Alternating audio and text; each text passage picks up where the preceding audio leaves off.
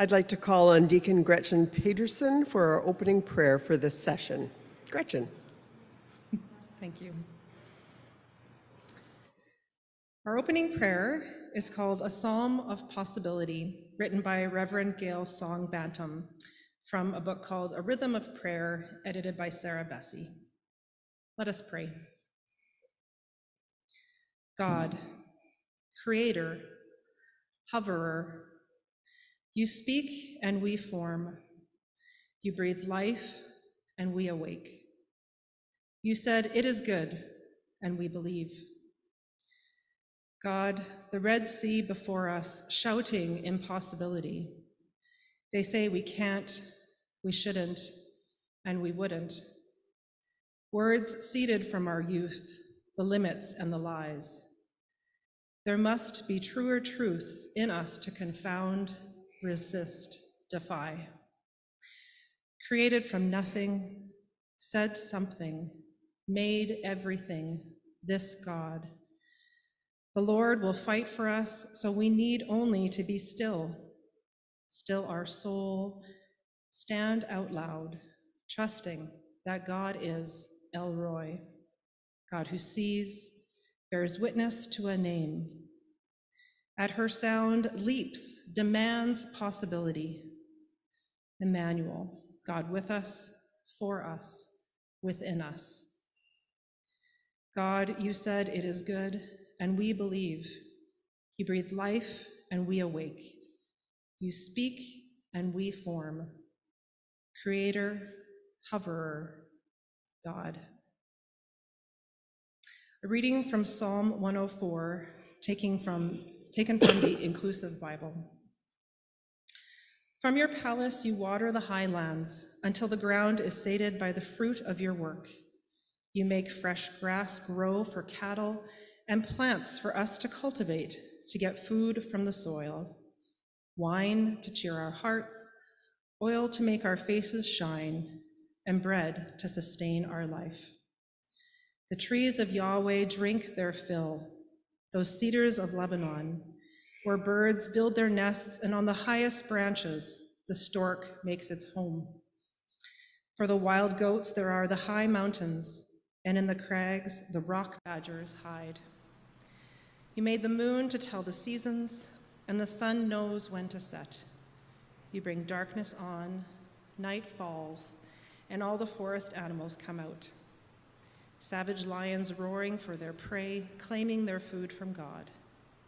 The sun rises, they retire, going back to lie down in their lairs, and people go out to work, to labor again until evening. Yahweh, what variety you have created, arranging everything so wisely. The earth is filled with your creativity. Let us pray. God of creation, thank you for all that you have made, for the stunning diversity of humankind, for the beauty of every flower head, the abundance of a healthy harvest. Help us to tread lightly and live wisely, remembering our place in the great web of creation. Challenge us where we need to change our lifestyles.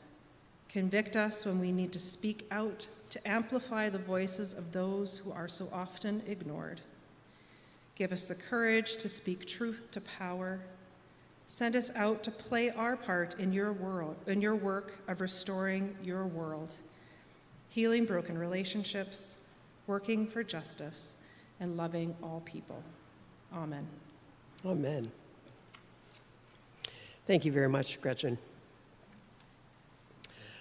I'm going to call on the chair of the Elections Committee for the results of the first ballot for vice chair. Lynn, please come forward.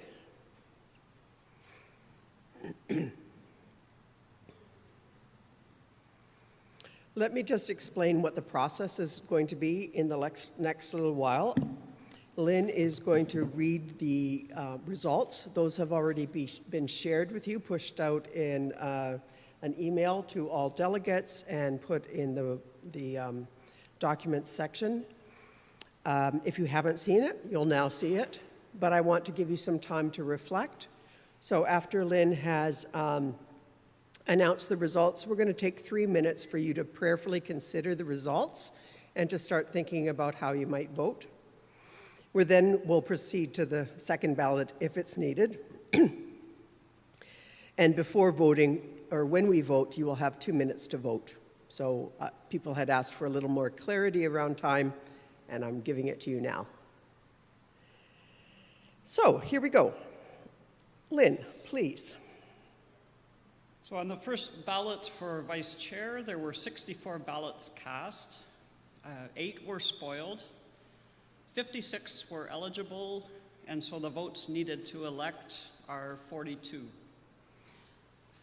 Uh, the votes were Bruce Cook, 10, Sheila Hamilton, 6, John Nilsson, 4, Lynn Slack, 3, Catherine Sewell Blazer, 2, Angela Chorney, 2, Greg Lingelbach, 2, Pat Lovell, 2, Cheryl Bauer Hyde, 1, Kathy Bolstad, 1, Bev Corbett, 1, Rowan Diamond, 1, Linda Erlandson, 1, Bill Gastmeyer, 1, Rosine Gerhart, 1, Linda Granger, 1, Stephen Holmes, 1, Heather Howdle, 1,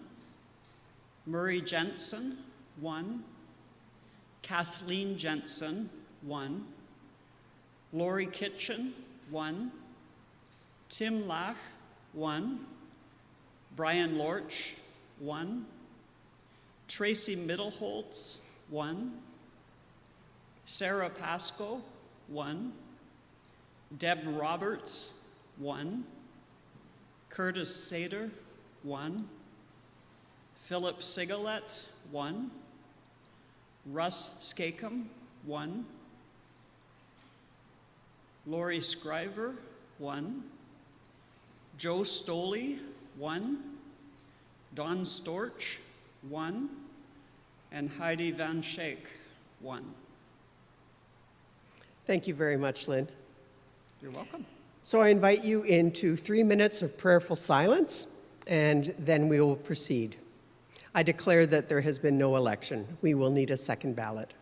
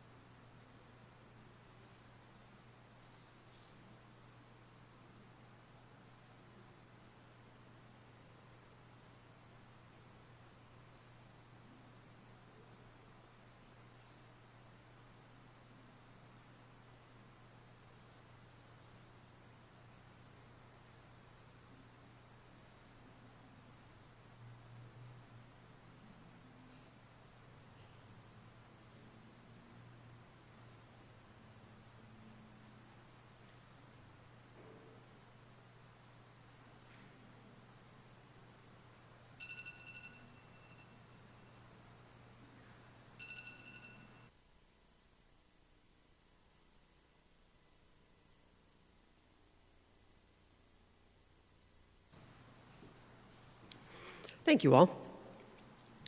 We're now going to proceed to the second ballot. It will take two-thirds of votes for one candidate for an election on this ballot. Your voting is limited only to those who have already been on the ballot. We cannot add any more names. You need to click on the name you wish to vote for using the voting tool at the bottom of your convention platform. You are able to change your vote or your selection until voting is closed, but the last name you click is the one that will be recorded. So be careful with that. As I mentioned, we're going to allow two minutes for voting, so um, keep that in mind. And now, before we vote, um, let us pray.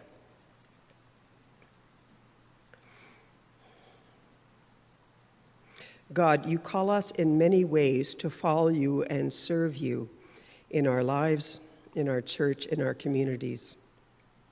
We pray for these candidates who have been nominated to serve in this position as vice chair. We pray for the voting delegates now that their hearts and minds would be open to discern how the Holy Spirit is calling them to vote. Bless our decision making. And bless whoever will become our next vice chair. We give you thanks for all of these candidates and for the gifts that they offer. In Jesus' name, amen.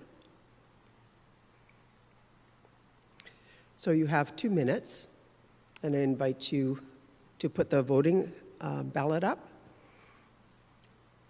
And there are a lot of names, so you will have to scroll down. And you have two minutes. Please vote.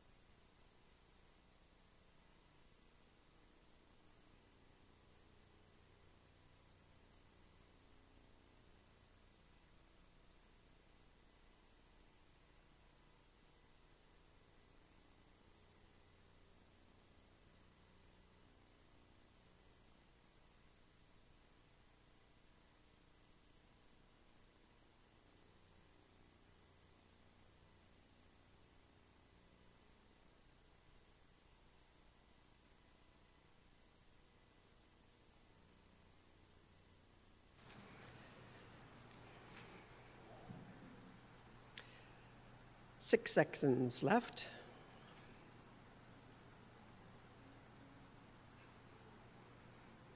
And that is your two minutes. Thank you. I'm going to ask for balloting to be closed, for voting to be closed. And we'll send on the results to the Elections Committee. Thank you. I hope that was more timely for you.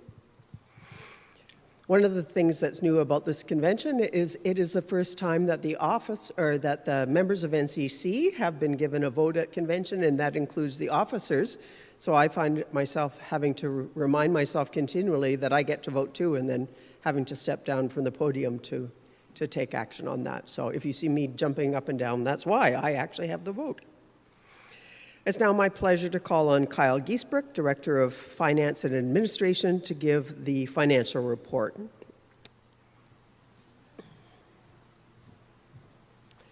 Welcome, Kyle. Thank you. My name is Kyle Giesbrecht, and I'm the finance uh, director of finance and administration with the national office, and I'm also the convention manager. I have the opportunity to address convention today to talk about our financial uh, state of the national office.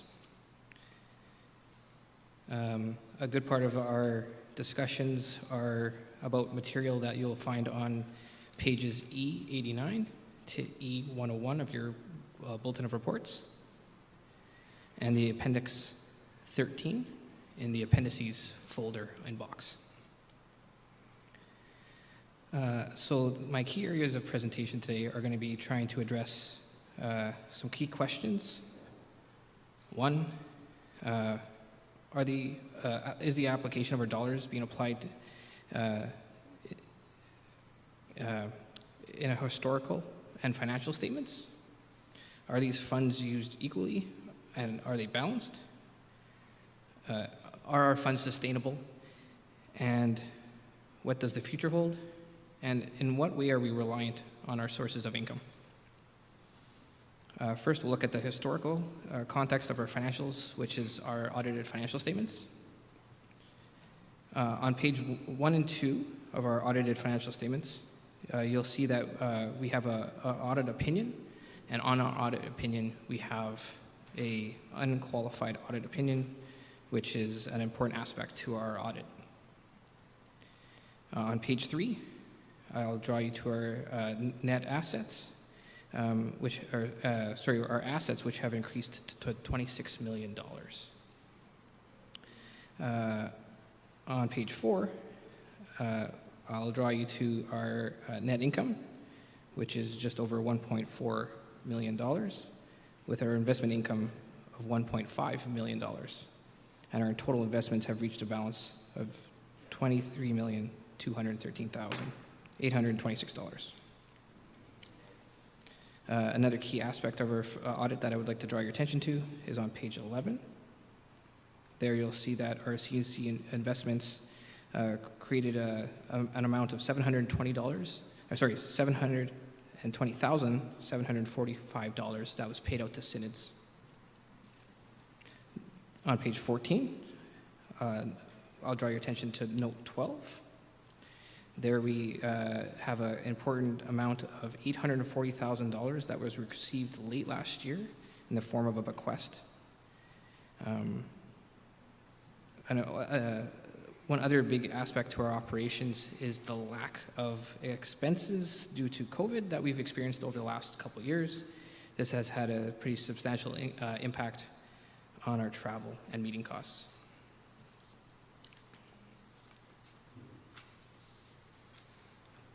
The next question is Are we balanced uh, in terms of our income and expenses? In the last five years, except for 2018, our income has been uh, exceeding our budgeted amount. The average health over our last five years, as you can see in this uh, um, graphic, has definitely been uh, above where we have been budgeting. Our best guess and planning over the next uh, couple years uh, is um, uh, very hard to gauge right now. Uh, we are still kind of figuring our, our operations in our new environment um, and trying to get back into a little bit more of a normal travel and meeting uh, type of operation.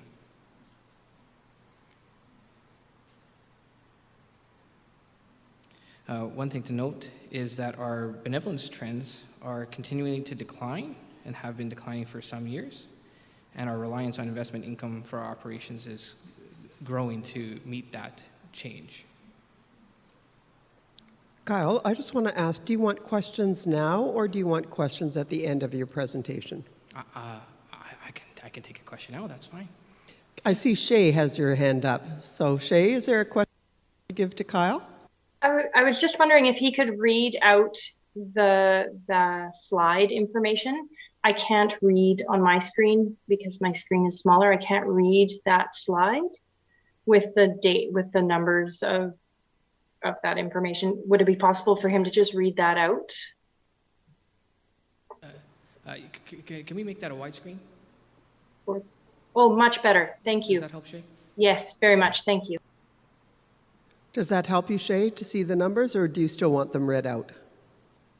Yeah, we're good. Okay, No, that's that, good. that, Great, I can you. now Yeah, read them. yeah, Thank you so much. that. The numbers are, I'm, we're trying to present information in a useful way, and sometimes when they're big numbers and a lot of years, um, it's hard to display them uh, in a way that's uh, visually uh, acceptable.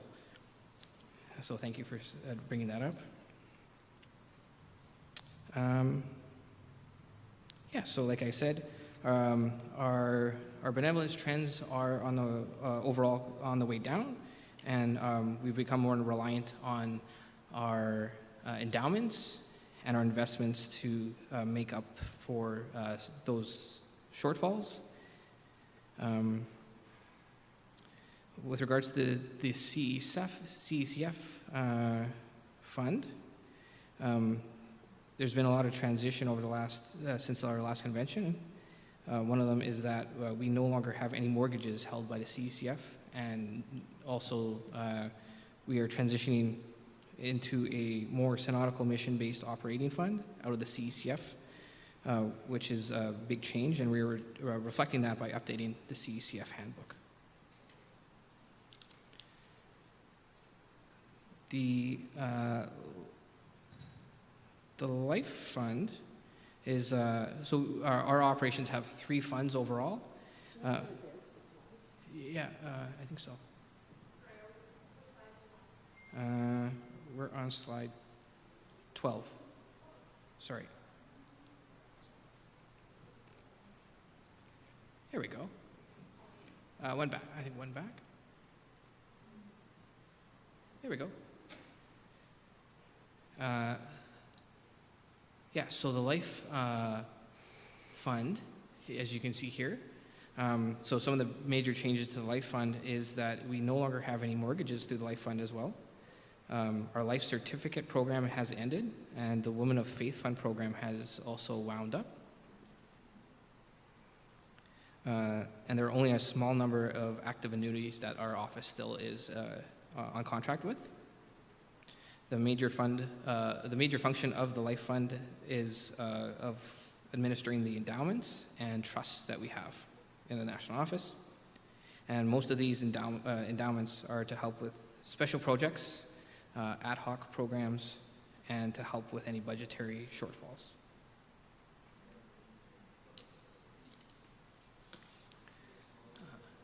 So if we can go to the uh, reliance question.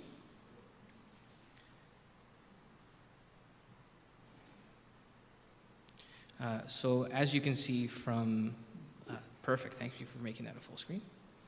Um, As you can see from this pie chart, uh, the majority of our sources of income, uh, the, the uh, top right corner you can't see very well, is hi- highlighted in green, uh, that says benevolence.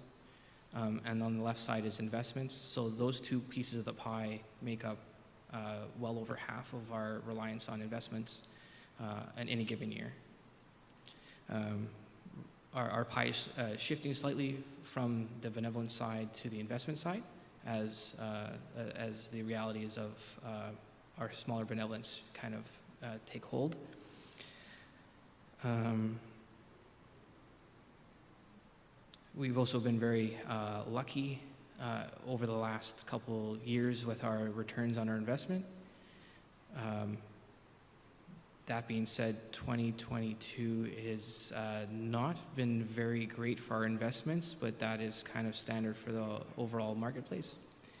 Uh, and uh, we'll see what the rest of the year uh, has to hold for us, but hopefully uh, things will be um, productive for us. And also, um, yeah, I think it's just uh, one of the things that we try to plan for and, and take into account with uh, a lot of our uh, investment policies about trying to be uh, conservative and plan for rainy days.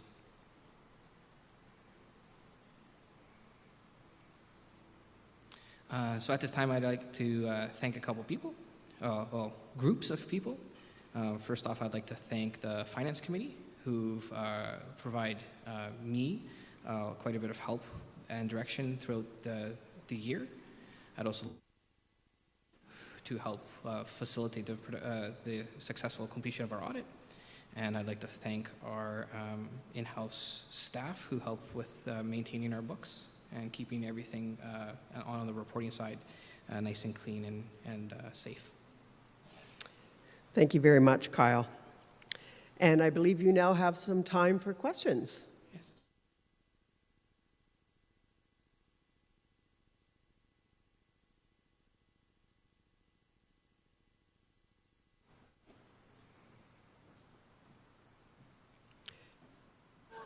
Doug, I don't, Thank you. We lost the sound when you were talking. I didn't hear my voice being uh, asked. Uh, just had a question. What is deferred revenue? Please, could you give me an example?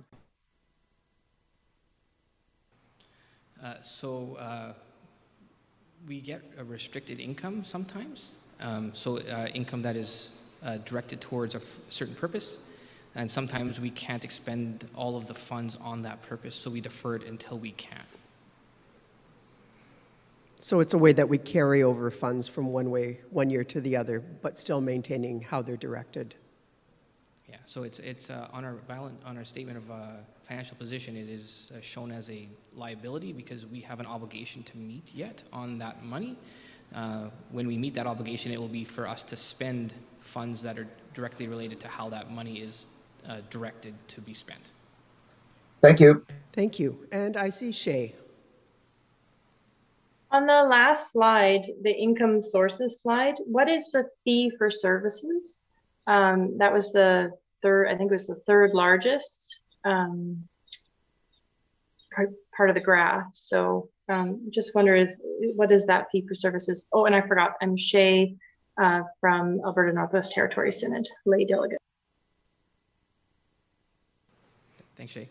Uh, so, uh, fees for service are uh, such things as uh, Canada Lutheran, um, things that people pay for their uh, involvement in. Um, uh, uh, I, I can't, uh, if, if the pie chart could get put back up, sorry. But yeah, it, it's more things people pay for involvement in, and the best example that we have on a going forward basis is Canada Lutheran. People pay for that service.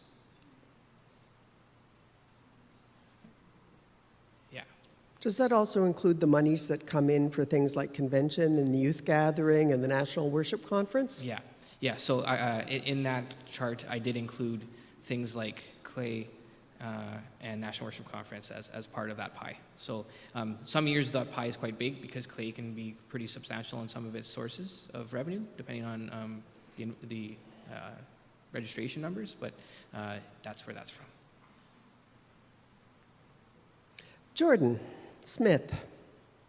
Hello, uh, Jordan Smith, delegate for the Eastern Synod roster delegate. Um, thanks, Kyle, for all the information and the report.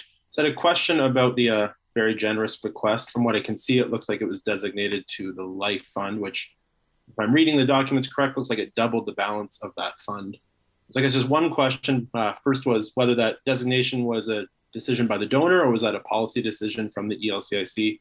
Um, and maybe can either you or the bishop speak a bit more to what this fund has been used for in the past and what its future might hold uh, with this increased balance. All right. Uh, so um, that fund, that money was given uh, with a directive, and that directive uh, was met. So we were putting it into the life fund to help us, uh, basically, give us a little bit of time to determine how we want to use that money. We want to be uh, diligent and um, purposeful with, with how we decide to use that money because it is a pretty substantial gift, and we want to make sure we're we're potentially looking at um, ways we can put it into partial endowments um, and to use it for other uh, ongoing work in the national office. I believe the designation was for mission, and as you know, mission can be interpreted in many ways, and we don't want to dishonor the donor uh, by moving too cautiously to assume what was meant. So um, we will determine how, um, how, what the designation is actually for and how best to steward it. The other thing that you know is that undesignated, undesignated bequests do have a formula that we have uh, for use, so it isn't at the whim of the national church. It's a formula we have adopted 10% of which is to go to the endowment fund of the Lutheran World Federation, and the rest is, to, is split between our special projects fund, fund that allows us to do new work, and between the endowment fund um, to help growing uh, the income that we need to support the church. Thank you for that clarification. It's amazing. I've learned a couple things over the years. I see Doug. Doug, can you please introduce yourself and where you're from? Oh, we lost Doug. How about Alana? Oh, there he's Doug. Sorry. Doug, you need to unmute yourself. Oh, I'm I'm unmuted. Can you hear me? I okay. I think I'm being heard. Doug from Nanaimo. Uh, just wondering, uh, how do I find out where um, what our investments are? What investments that uh, we are uh, gaining revenue from?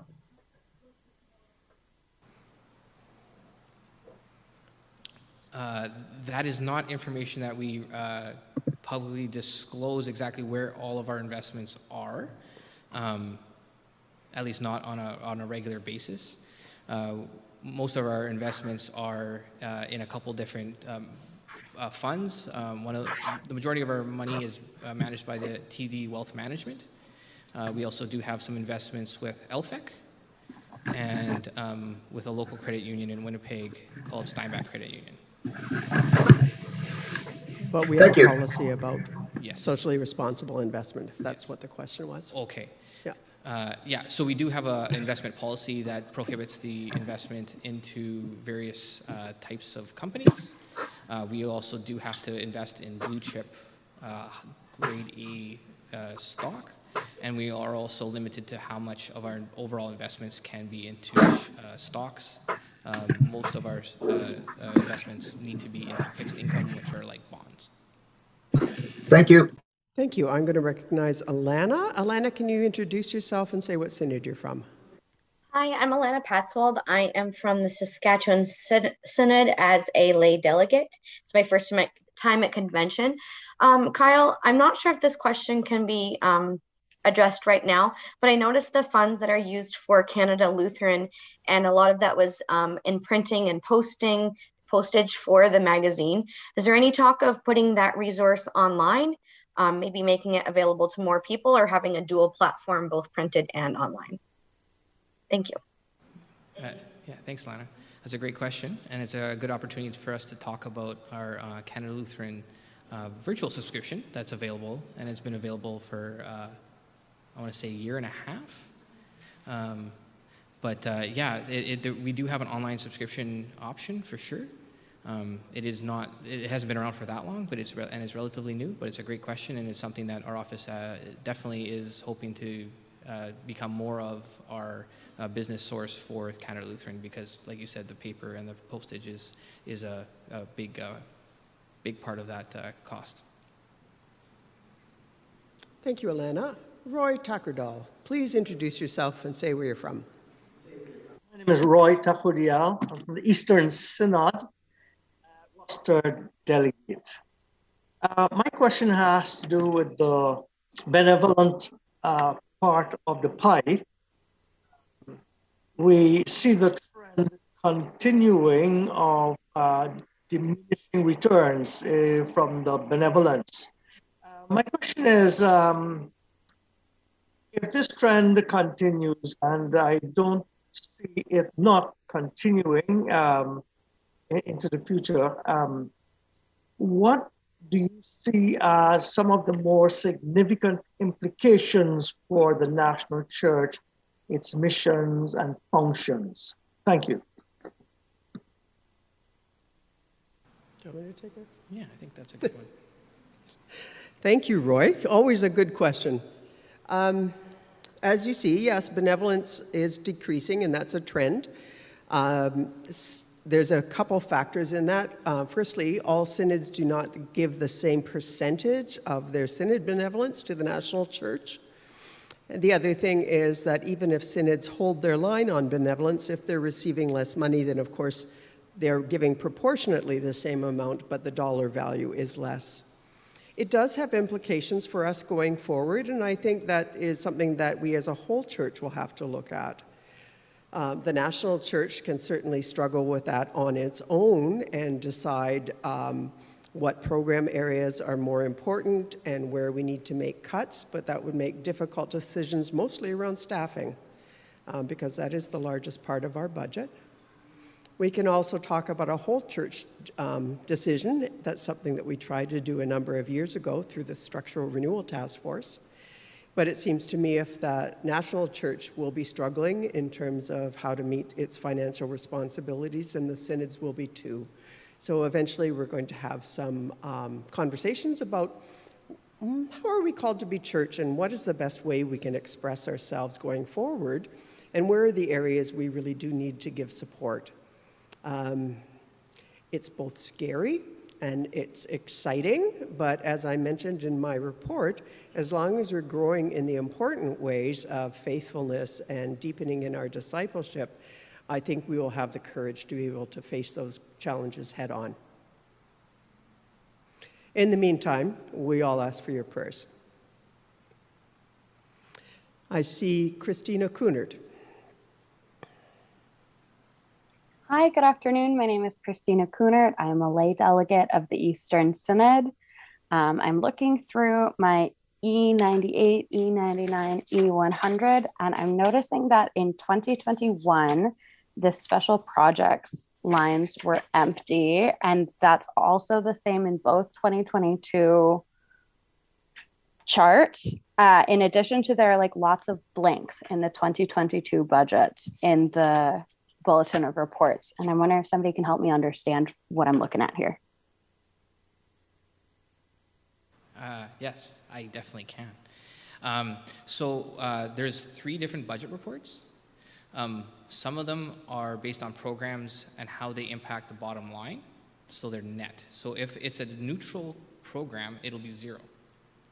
That means the cost and the revenues are the same. Uh, there's also a report that shows almost exact same information, just broken out between revenue and expenses. So some, uh, some programs, and you can see there's quite a few of them, uh, some of them are more uh, neutral to the bottom line, they're cost neutral, um, but some of them are more cost centers and some of them are more revenue lines. Uh, for, ex for example, uh, benevolence doesn't have any costs there, but salaries doesn't have any revenue. Uh, so, so you can kind of see how some of our sources of income overall spread over to the entire operation of our office. I hope that helps. Welcome. It looks like you have another satisfied customer, Carl. Kyle, I did it again. Are there any further questions for Kyle?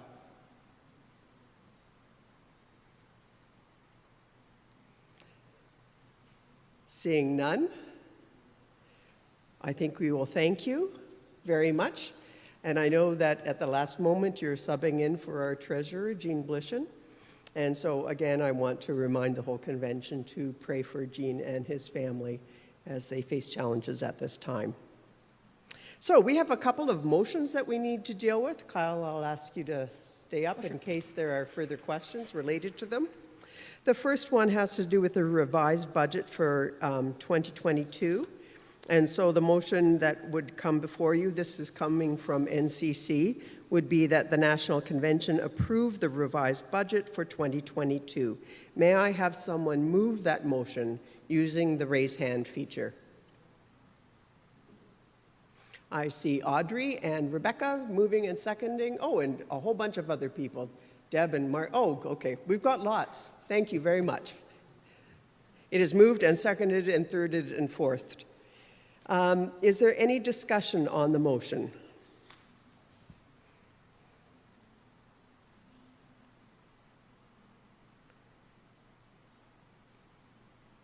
I'll ask you one more time. Is there any discussion on the motion?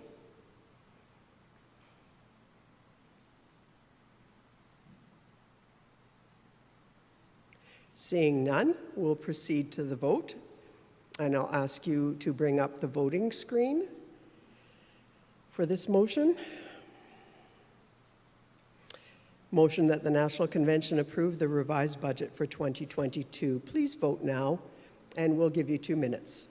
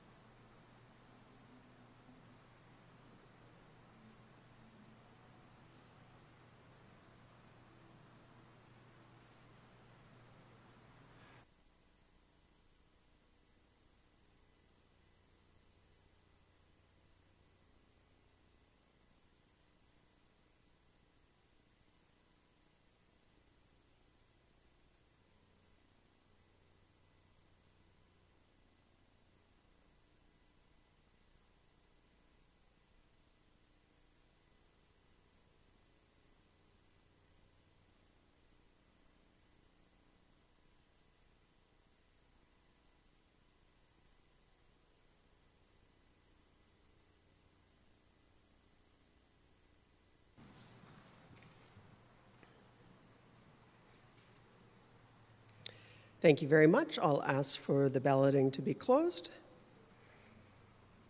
And when you're ready, I'd be happy to see the results of that vote. 100%, we have passed the revised budget. Thank you very much. There's one more um, budget or finance-related motion we need to do, and that is that the National Convention receive the 2021 audited statements. May I have someone move that? Again, Mark, thank you, and Shay, and Trudy, and Bruce. That's lots of movers and seconders. Thank you. Uh, Do, uh, do I feel like the woman from Romper Room, or was it the Sunshine? I don't know what, but I, I love this recognizing individuals. Thank you very much. Is there any discussion on the motion?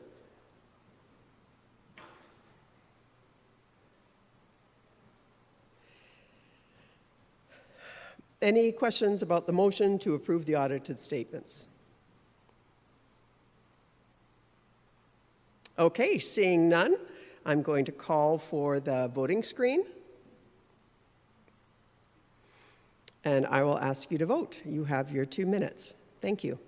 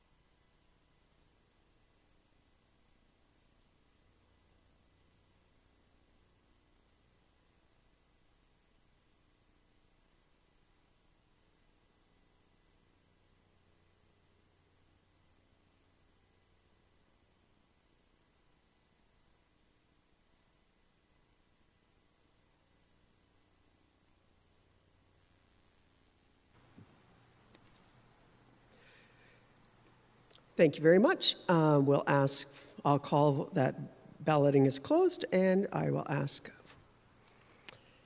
for the results. Oh, very quickly, 100% again. Thank you. That's great. We're just going to take a little bit of a pause here, not very long one, but a little bit of a pause as we wait for the results from the Elections Committee. Um, It's very close, so I don't want to move on to something else, and I know you will all be interested in hearing the results of the second ballot. So, talk amongst yourself, or uh, if anyone has a burning question for me, this is the time.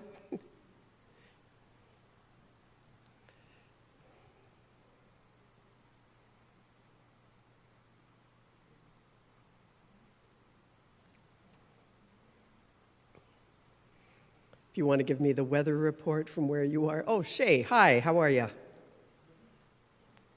Good. I just have a suggestion uh, for the online format. When we're reviewing a document or something, could you give the section and the page number? Um, if possible, put it in the chat. So, you know, if, if we have an internet hiccup, that we can get it because it just makes it quite a bit quicker to find the doc. Um, I've read most of them, but I don't remember in what one the budget is and in what one this is and that type of thing. So just as we go along, if you could do that, that would be very helpful for finding them again quickly. Thank you, Shay. That's really helpful, and we will do our best to do that going forward. Sometimes I give the range of page numbers at the beginning, but that doesn't help you find the specific page, so we'll do our best to improve on that. Thank you. Kimber, hello. Hi, I'm uh, Kimber McNabb from Halifax in the Eastern Synod, and I've noticed something really uh, helpful. My internet is sometimes spotty, and it's great because you can put the closed caption feature on. So when the the um, the you get garbled or freeze, the text still comes up on the bottom of the screen, and it's great for people who don't hear so well. Very much for that helpful suggestion, Kimber. Much appreciated. Anyone else with suggestions for how we can be doing better or helpful tips?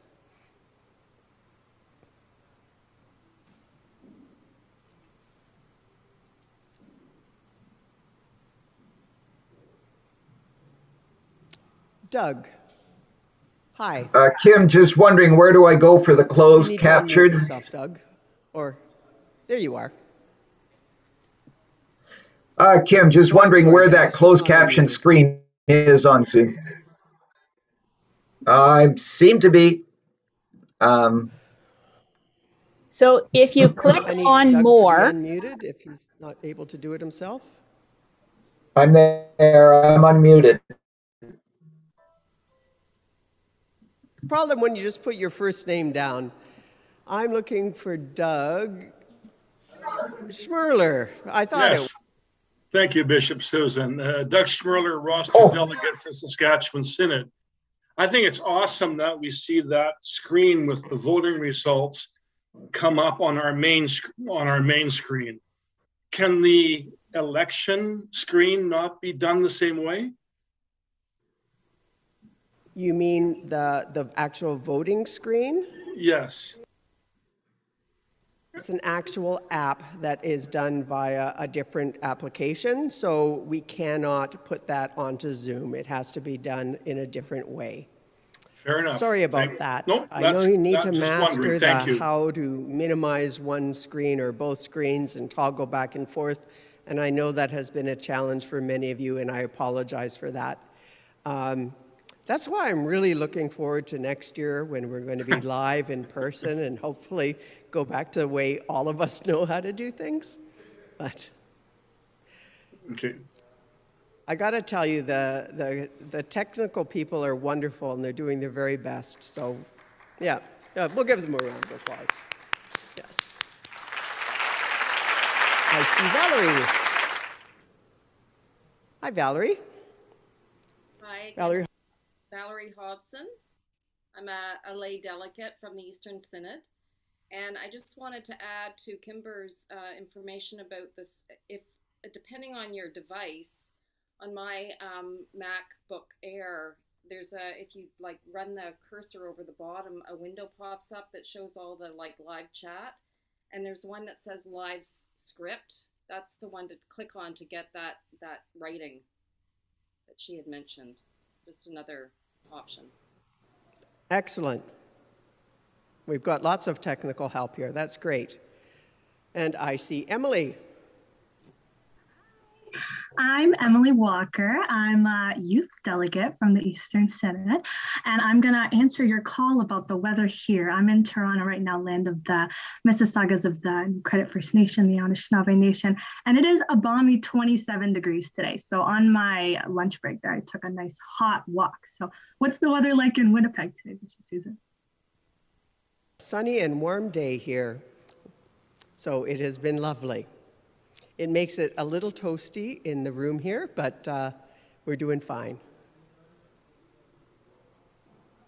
Thanks for asking. How are we doing from the Elections Committee? Are we close?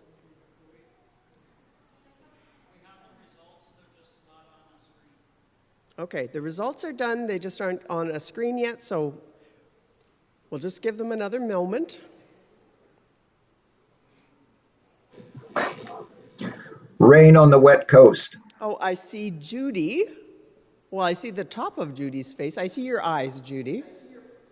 Oh, there you are. Hi. Hi.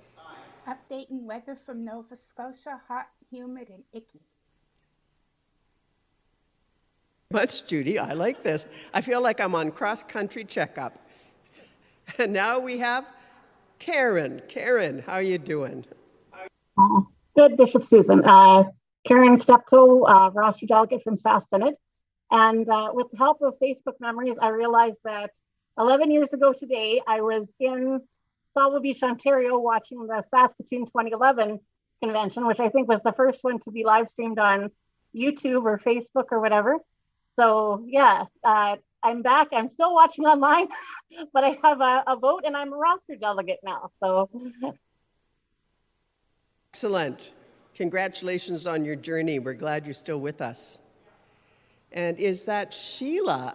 Sheila Attendee. I don't think Attendee is your last name, Sheila, but introduce yourself. Oh, and you need to unmute yourself, Sheila. Uh, Sheila Taylor from Alberta and Northwest Territories Synod lay delegate. Uh, 31 degrees in south central Alberta. So it's warm. So, and I actually see a couple people I recognize. So this is really quite lovely. Russ Skakum.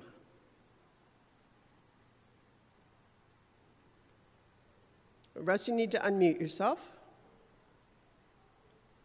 There we go. Uh, Russ Skakum, lay delegate from MNO Synod. Um, I would like to recommend that this voting system we're using on for the online also be used for future in person.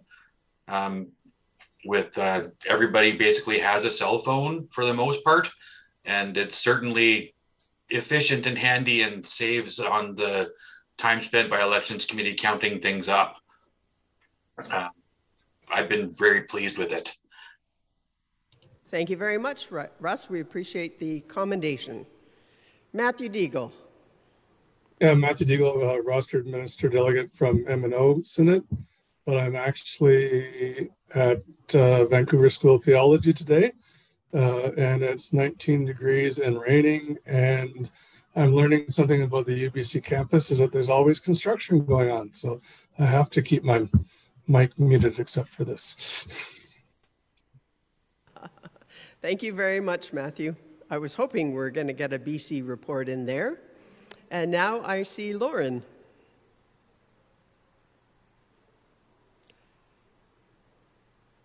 And Lauren, you need to unmute yourself. There it is. Hi. Um, Lauren Corbett, a lay delegate um, from the BC Synod, and I'm just checking in to let you know that it is sunny and 29 over here. Not that I've gone outside yet today.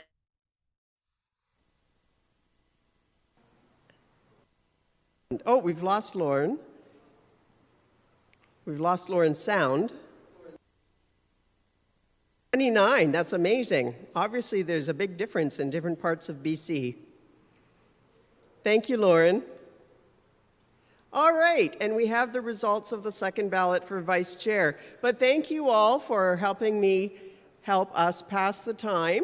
And it was delightful to see some familiar faces and hear some familiar voices. Lynn,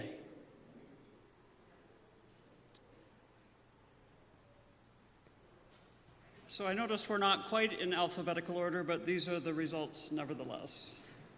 Thank you. So on the second ballot for vice chair, 170, 117 votes cast, and that means 78 are needed to elect. Bruce Cook, 31. John Nilsson, 12. Pat Lovell, 11. Angela Chorney, 10. Sheila Hamilton, 10. Greg Lingelbach, 8. Catherine Sewell Blazer, 5. Cheryl Bauer Hyde, 4. Bill Gastmeyer, 4. Stephen Holmes, 3. Joe Stoley, 3. Kathleen Jensen, 2. Lori Kitchen, 2. Don Storch, 2. Lynn Slack, 1. Rowan Diamond, 1. Linda Erlandson, 1. Linda Granger, 1. Heather Howdle, 1. Tim Lach, 1. Tracy Middleholtz, 1. Deb Roberts, 1. Lori Scriver, 1. Heidi Van Schaik, 1. Okay, that written report is really hard to see. Can we have it available in another format as soon as you can, please? In the meantime, let me remind you about what the process is. Um, we will, there is no election. Oh, that's much better, thank you. let's, let's just see those slowly again. I won't make Lynn read them again, but just so you can scroll through them again. The document's now in box? Okay, that's great. Okay, let's see the next page. Oh, this is in numbers now. Okay. And the next page.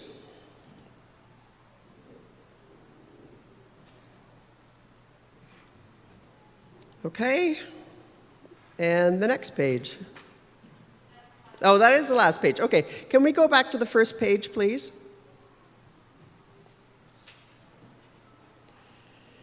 So, um, there's no election. We move on to a third ballot, but there, there, are a couple of things you know. The first thing you need to know is that um, bio, biographies have to be submitted by the candidates before the next ballot. And so the deadline is 5 o'clock today. There is a bio form on the convention main page. You need to seek the permission of the person who's been nominated and ask them to fill in a bio form if you nominated them. If people do not submit a bio form, it's a pretty clear indication that they do not wish to serve. But that's the process. The second part of the process is for the third vote, we drop down to the top five candidates. Because we have a fourth place tie between two candidates, I would then say that on the next ballot there would be Bruce Cook, John Nielsen, Pat Lovell, Angela Chorney, Sheila Hamilton. Our process does not allow for people to withdraw. I know there are a couple of people who are really wanting to, but um, you can signal that by not putting in a biography, or people will have to hit you over the head and convince you this is the Holy Spirit working, one or the other. Gentle on the hitting, please. Um, so, again, we have five names moving forward to the third ballot. We thank everyone else who has made nominations and those candidates who have been nominated for their participation in the process. The five candidates remaining are asked to submit bios by 5 o'clock today. The bios, as soon as we receive them, will be put into um, the document section where you can find new documents and we will proceed to the next vote tomorrow. So sometime tonight, you're going to have to look at the bios and start preparing yourself for the next vote because we cannot take the time for you to think that through in the morning. Okay? Homework. Judy, you have a question. Yes, Judy from the Nova Scotia. Um, if one of those persons do not submit a bio, does it take the next person on the list? No? The rules are the top five names go forward. The, the names of all the people will still appear on, of those five people will appear on the next ballot. We don't take them off. It's just they are trying to tell you, look, I don't want to do this, so you can make a decision. That's why we don't add more people. Okay? Diana, you have a question? Diana Edis, rostered leader from British Columbia Synod, uh, Prince Rupert. Um, you said that the bios are due by five o'clock. Five o'clock, what time zone? Centrist.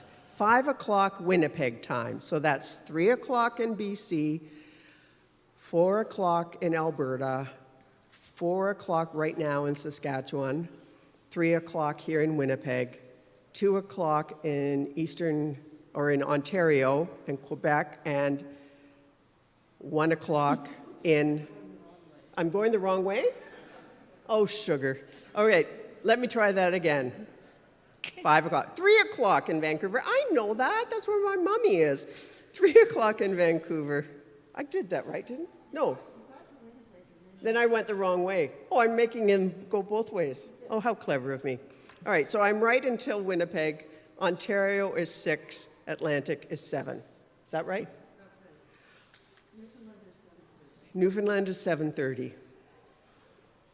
But, okay, I won't even go there. Thank you. Russ, you have a question?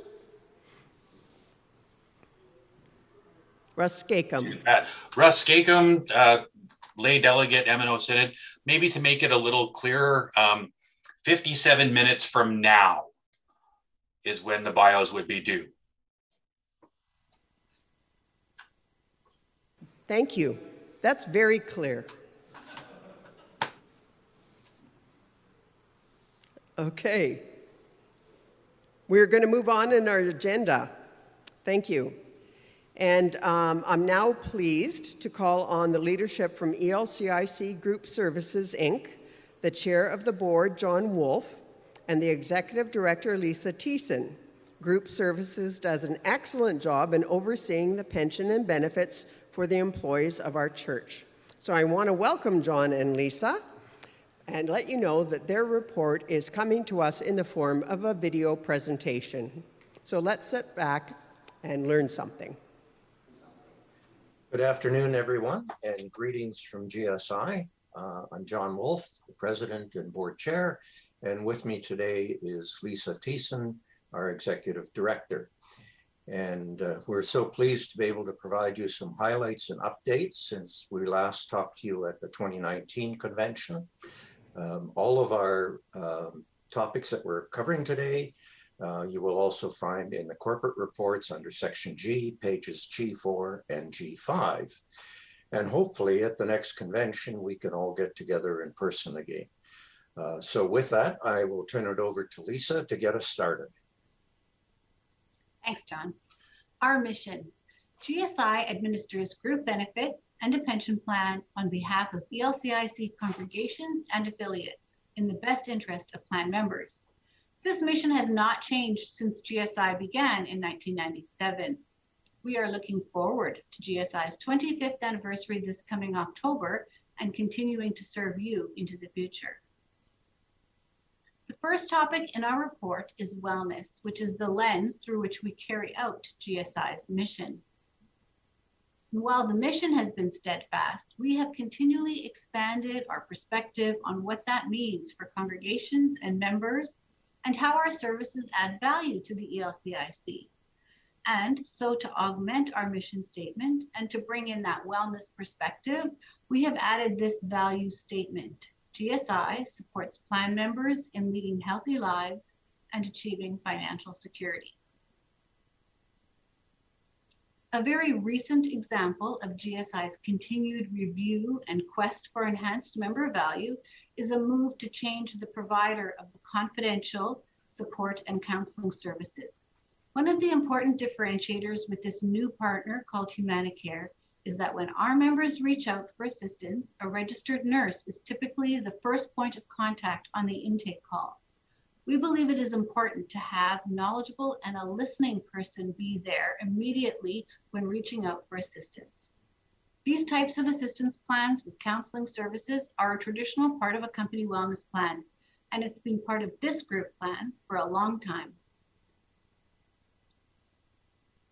More recently, we have enhanced the wellness program by adding a lifestyle spending account. This account supports and encourages self care. Members are allocated funds that can be used for fitness and recreation, education, counseling, or health expenses that are not covered under the traditional health plan. The last part of the value statement indicates that GSI supports members in achieving financial security. The ELCIC pension plan is the signature piece of that objective, and John will speak to that shortly. I would like to briefly highlight that GSI recognizes that each member has unique financial aspirations, and GSI has sponsored additional opportunities to achieve those. There are ELCIC Group RRSP and TFSA accounts with investment options for plan members. We encourage members to reach out by calling GSI or checking our website for more information on these. So at this point, I'd like to spend a few minutes and talk a bit about governance for GSI and the GSI board. Uh, for those who are not aware, we are incorporated under the Manitoba Corporations Act, and we follow the corporate law uh, related to that. And we also have a very robust internal governance manual. Uh, GSI is governed by a board of directors. Uh, the board has eight members to it. Uh, we continually, as we seek new members and replace members, we seek to have a well diversified set of skills, knowledge, and background that helps us uh, inform our decision making. And these directors uh, work very, very hard on behalf of all the plan members, putting in many hardworking hours. And I would like to take this opportunity to thank them for all those volunteer efforts uh, that they that they engage in. So with that, um, I would like to just walk through some uh, key points on the governance process as it relates to the board. Firstly, when we look at any sort of issue or option or topic, um, we explore all of the options that may be relevant to that particular issue or topic. And where appropriate, we will engage professional consultants to assist us in this process. Those consultants can provide in-depth analysis and review and help us evaluate the various options uh, so that we can carry out our due diligence and be guided with that in our decision making. Furthermore, we continually look at improvements that reflect changes in what's happening in our membership and also in the pension and benefits landscape uh, more broadly. And with all of that, uh, we keep an eye on being responsible to ensure that we have viable, affordable, and sustainable plans, taking into account what the issues are that are facing our plan members, as well as the concerns of our struggling congregations. So I just want to provide some context that we use when we're making our, doing our reviews and making our decisions. Uh, the chart here shows our plan membership and employers oh, since the beginning of the pension and benefit plans in 1986. And you can see those trend lines. The blue line at the top are plan members and the red line are employers. At the peak, we had 937 plan members. Today, at the end of 2021, we're down to 452. And you may note that in the mid 90s, there was a, a, significant increase in plan members and then again a drop off in the early 2000s. And that just reflects when Augustana came on board and then subsequently left again and joined University of Alberta.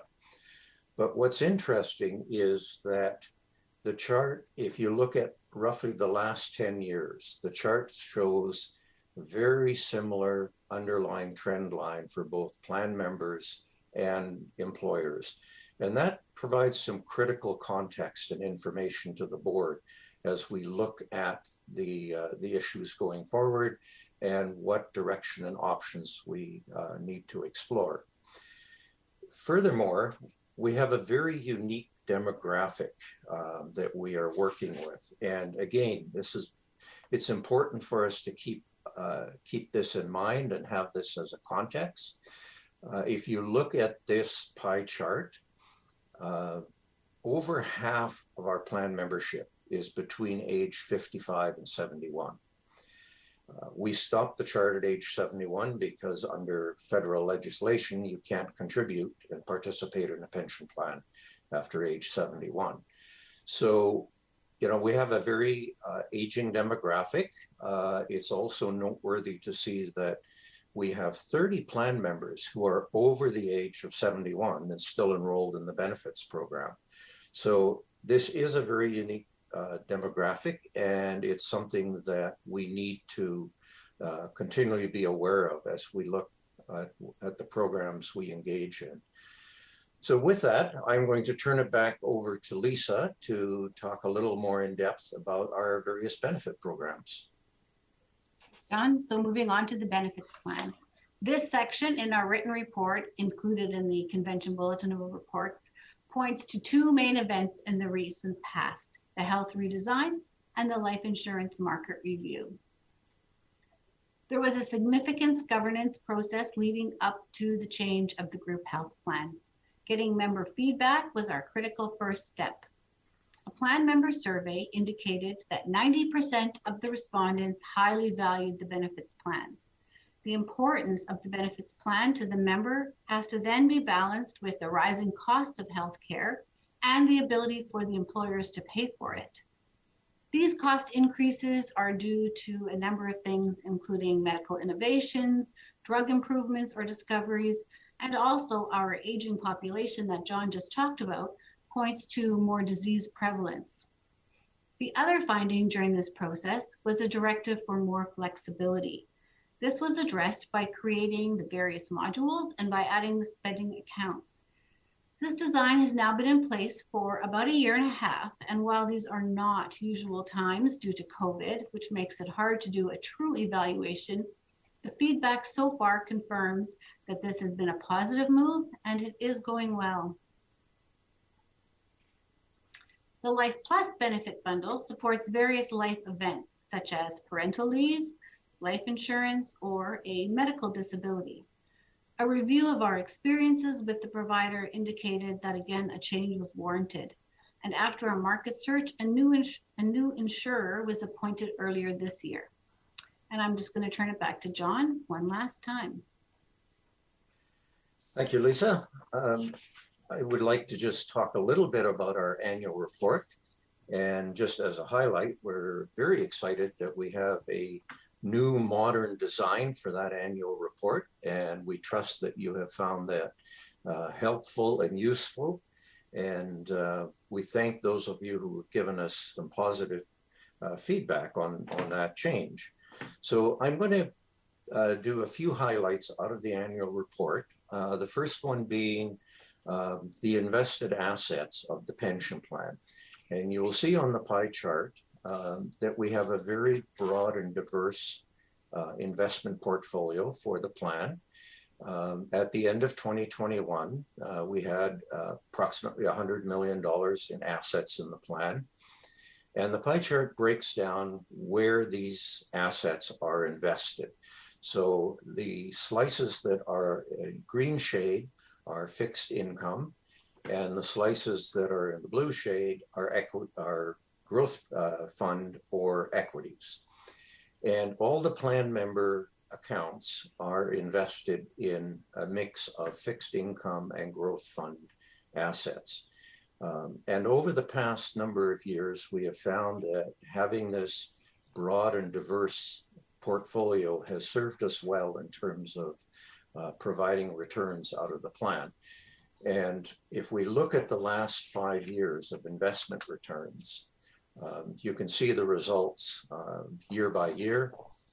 One of the things that we were very pleased with was that during the three pandemic years, we were able to maintain very healthy investment returns. Uh, despite all the challenges in the economy and across across the globe. Uh, you'll also note that you know cycles, um, markets do go in cycles, and uh, they always will. But it's it's worthy noting that they do recover and you know provide some healthy returns in that recovery. So with that, um, I'll move on to another topic, and that is pension alternatives. This is something that the board has discussed over the past number of years. And in late 2021 and early this year, we undertook some significant actions on looking at these alternatives. There was also a motion from Eastern Synod that uh, requested that we do a more in-depth review. Uh, so we have undertaken that. And to do that, uh, we engaged an actuary uh, so that we would get uh, the independent expertise of an actuary in terms of doing the analysis and the review and providing us with um, input as to what alternatives there are out there and what those alternatives look like.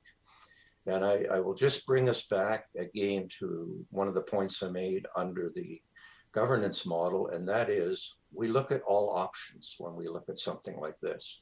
So it was very important that we look at several options and that we have professional assistance to do that. We did that uh, analysis. The actuary provided a report that was reviewed by the board and was also, we also shared the findings with National Church Council. And you may have noted that in the May newsletter, uh, we discussed that report and provided links on our website. Uh, I do, how, do also want to just highlight a few key findings that came out of that report because I think it's important to note those. One of the things that uh, was was very uh, enlightening in terms of the results of the report was that once you equalized assumptions uh, between the various plan alternatives, uh, there was no significant difference in the pension income outcomes uh, that the actuary created. And, and I think it's important to again emphasize having an actuary that has the expertise that looks at the actual plan documents as well as the projection calculations and equalizes everything so that it's very comparable between uh, between plans. And as I say, no significant differences came to light. Uh, no single alternative provided better results uh, for all members. Uh, it was a mix. And in fact, the ELCIC current plan had the most um, positive results for uh, positive results for the most plan members. So I think that's you know we we we spent a lot of time and uh, did a lot of really good deep analysis uh, from the actuary and have that as an outcome. The other thing that the actuary noted was that if you're going to change from our existing plan to another alternative, there were some challenges and hurdles that needed to be dealt with. And depending on what alternative plan you were looking at, um, there were some reporting challenges. In some cases, there were differences into in what was considered as the base for making contributions. And also, they some plans had uh, limitations on the amount of your current account uh, balances that you could transfer in. So those those were other things that we considered. Um, the actuary also noted that in terms of our current plan, given that we have a unique membership, it is well designed to support that membership and provide pension income. Uh, they commented on how well the plan was managed and the fact that it did provide a good pension uh, for the plan members that we currently have. So those were the, the key findings in there. And I, you know, I think in summary, what it has told us is that given that there were no clear, strong alternatives that look better, it does not at this point in time make sense to consider an alternative given the costs and work involved. So with that, um, I just wanted to comment as well on what some of our future directions. We're stop turning at the board. We're always looking at things like those trends we saw in terms of plan membership, demographics, what's happening out in the industry and uh, both uh, you know locally and across the country and the pension industry and the benefits industry so one of the things that we've done over the years and we're again this fall we're setting aside one and a half days for the board to do in-depth strategic planning and we're going to dive very deeply into what you know where we are today where things are going and what else we need to look at in, in terms of options.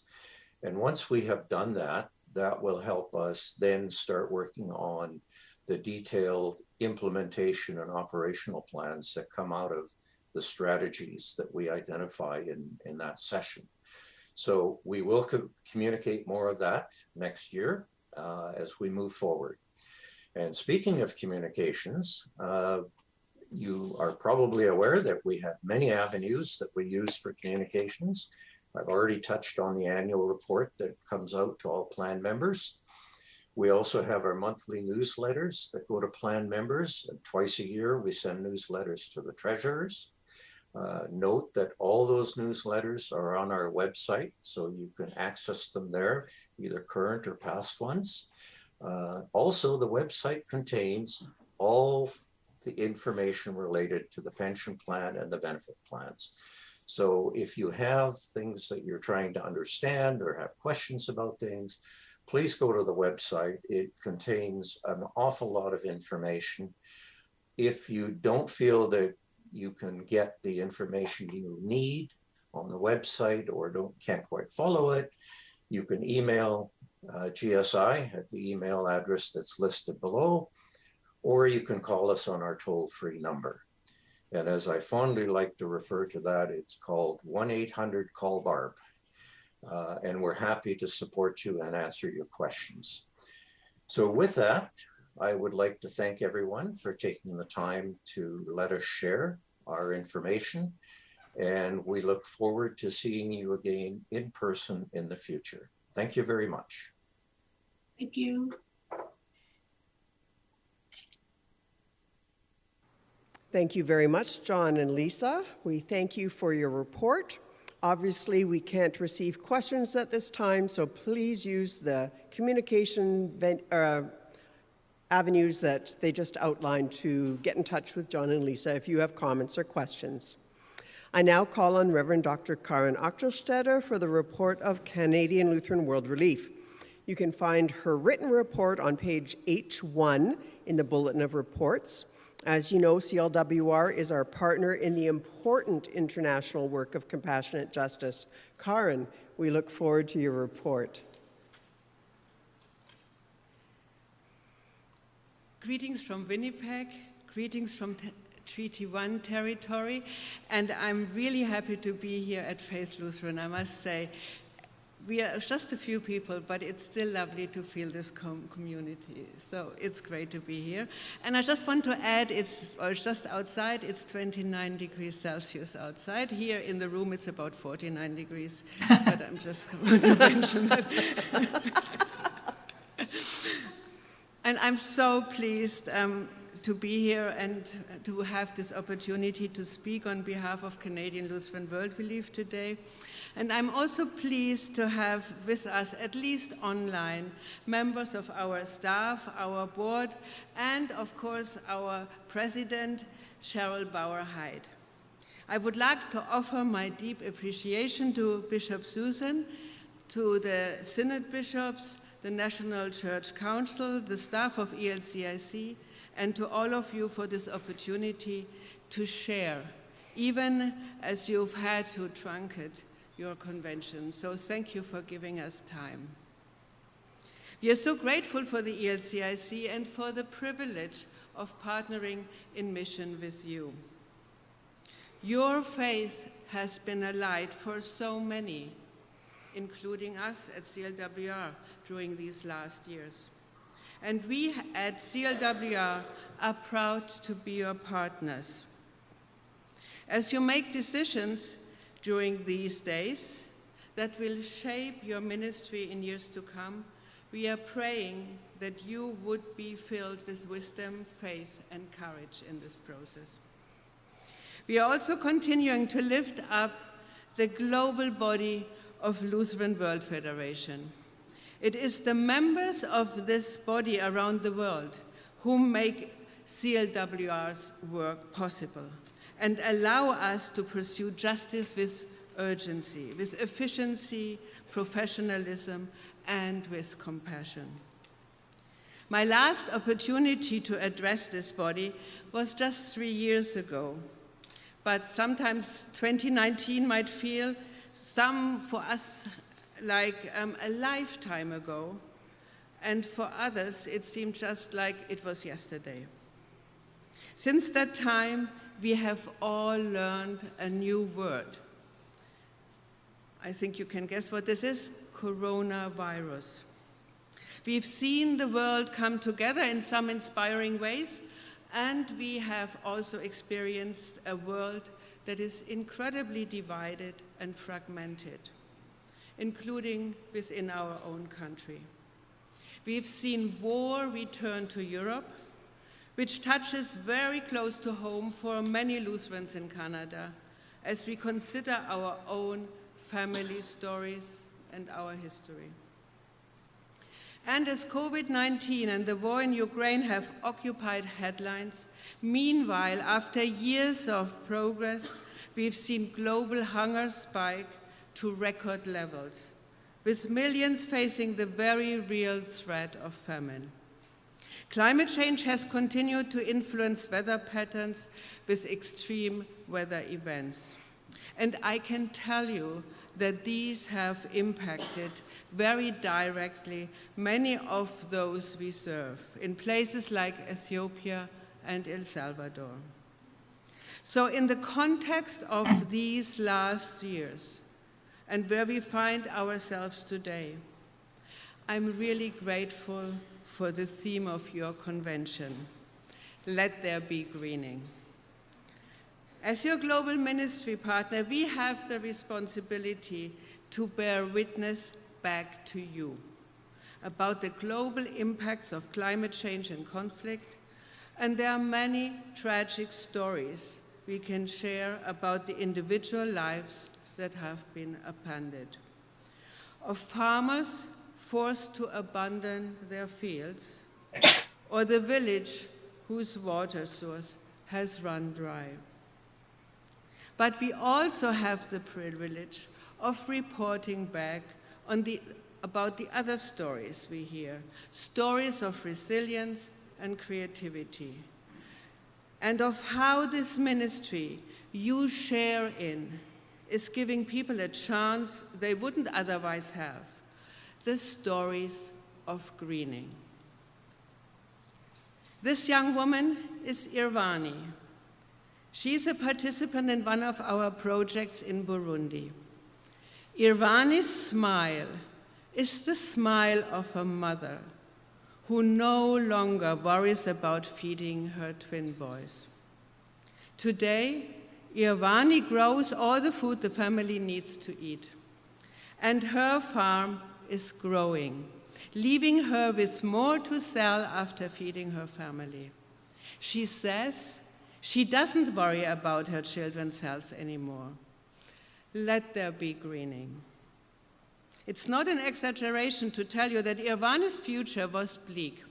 In Burundi, like in many countries right now, food insecurity is increasing.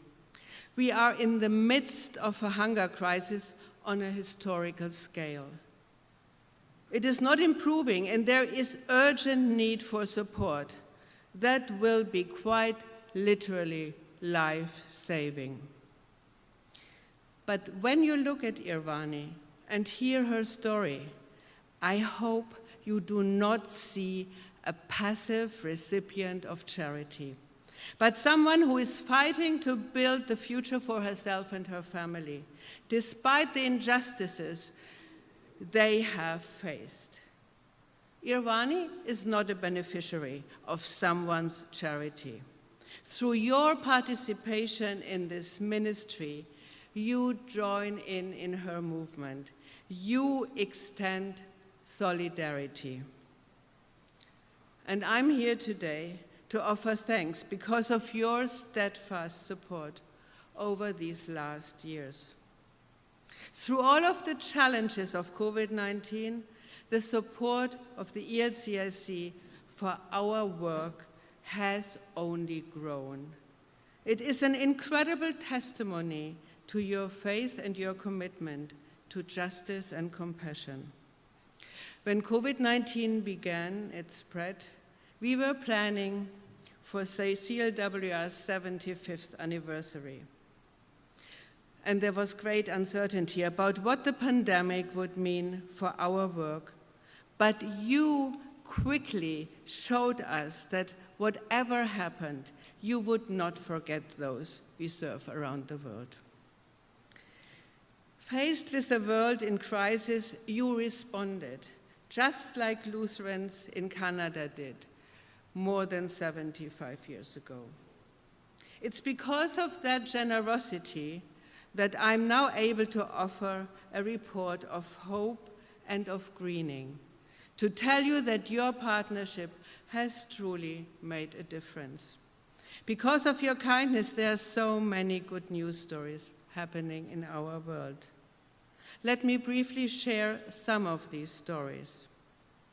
As travel restrictions have begun to ease, one of my very first trips was to see the good news stories you are making possible in the West Bank. There, you are part of a movement that is challenging the poverty and unemployment that Palestinian women face. Your support has allowed us to expand our technical and vocational training program, especially focusing on equitable access for women and girls and for people living with disabilities. Since then, we have begun to receive such incredible stories of what women are accomplishing when just two years ago they couldn't even access education or were extremely restricted in the types of work available for them. In El Salvador, your partnership in protecting vulnerable farmers from climate change with an innovative new form of crop insurance, challenging a root cause of, of migration by keeping farmers farming and allowing them to keep feeding their mm. communities. In Burundi, where Irvani is building a new future, a new project is, brief, is bridging the gap between short-term emergency relief and long-term development by giving families like hers the tools to recover from crisis and to rebuild their own livelihoods. And in Venezuela, your support is challenging the injustices of the pandemic stocking the cupboards of a medical clinic in a district of Caracas badly hit by COVID-19. And when war broke out in Ukraine, your support helped our partners to be among the first on the ground, delivering aid and welcoming those fleeing the war. As we continue to pray for peace, we want you to know that your generous response to the emergency appeal issued by CLWR and ELCIC is providing real comfort and hope to the families who are being affected. And regardless of whether the news spotlights moves on to another story, your support means that our partners will still be there when the news has traveled. And this will be, will take, will be there for a long time to come, providing critical support to those who need it most. I'm especially grateful for the way that your congregations have adapted to ensure the continuation of refugee resettlement here in Canada throughout the pandemic. Despite travel restriction, quarantine requirements, and more, churches have remained dedicated to this mission of rescue, and arrivals to Canada have continued. In fact, we have increased staffing at our refugee resettlement offices because your congregations remain so committed to this work. Across the country, there are stories of dozens of families who now have the opportunity to build a new life in safety in Canada because of ELCIC congregations dedicated to making these stories of hope possible. And we have heard from so many congregations who are only waiting for their chance to be next. This is only a glimpse of the stories of hope and greening that your partnership has made in these last years. We take such inspiration from the steadfastness of your compassion and your faith. And it is our prayer that this report might offer encouragement in return. There is much that's uncertain about the years ahead, but the last couple of years have convinced me that whatever is to come, there will be stories of greening. And this moment and this movement of the people of God will be there. Thank you for the opportunity you give us to do this work on behalf of you. And thank you for your partnership in our ministry. Let there be greening. Thank you.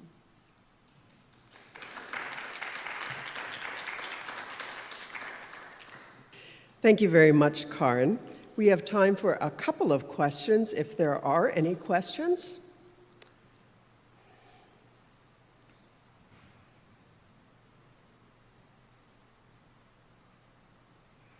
Vida, please unmute yourself. Yes, um, my question is um, pertains to the uh, relief uh, efforts in Ukraine, and wondering if there, the CLWR um, has links with Lutheran churches in Ukraine. Um, it'd be wonderful to be able to share stories uh, with the congregation about you know Lutheran, uh, specifically Lutheran sort of activity and the, the impact on Lutheran churches or congregations in Ukraine, um, other than just you know the news doesn't give us uh, those kinds of stories from on the ground from people living there and people um, of faith being impacted. Yeah, I can um, speak directly to that. First of all, um, I had the privilege to attend um, the LWF Council, and during the council, the um, Lutheran Church of the Ukraine actually became a member of the Lutheran World Federation, so I think that's important to note. But at the same time, I think the beauty of the work the LWF is doing is that it is always also working with the congregations and the churches locally. And I think that's why we don't have this story necessarily, however, is because we serve everybody in need. So some of the stories that we receive are the stories of all the people that are getting our support and that come to one of the centers um, for either internally displaced people or they arrive at the border. So there we don't count in any way and even don't even ask the question, um, what is your faith background or what is your belief? But at the same time, I can reassure you that through the Lutheran World Federation, we are working closely with the congregations that are in Ukraine, but also with Lutheran congregations at, in the other countries that are the border countries to, to Ukraine. Thank you very much. And uh, Vita, you can also find more information on the Lutheran World Federation website. There have been some postings that talk specifically about the impacts on the Lutheran Church in Ukraine. David Tin. Hi, Bishop. Uh, David Tin uh, from Markham Eastern Synod, uh, roster delegate. Uh, I'm working with the National Church with uh, Bishop Susan in the Welcome Angels, which is a national initiative of welcoming uh, new arrivals uh, in Canada. Uh, one of the chapters is for the Ukrainians. And right now in my local community, we're working with uh, 22 new arrival Ukrainians and also with our Anglican partners in nearby Stouffville, another 20 families. So we're working around 40 plus Ukrainian new arrival families in the last two and a half months. Uh, I think the question is, as I see the, your report, uh, Karen, is that uh, because Ukrainians are not classified as refugee status in Canada, they're under CUAET, so the, they are a totally new category of support from the government, and a lot of the things has not been properly set up yet. So they're all looking for all kind of support, which not yet ready set up for them.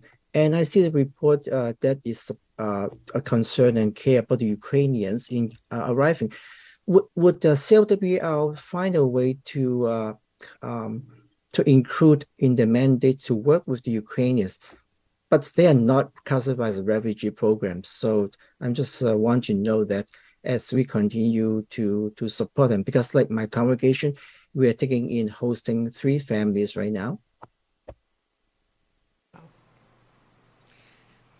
Thank you very much. I think it was more a comment than a question. I think the question is, is CLWR, because it works with refugees, Please. working to bring in people from Ukraine because they aren't classified as refugees?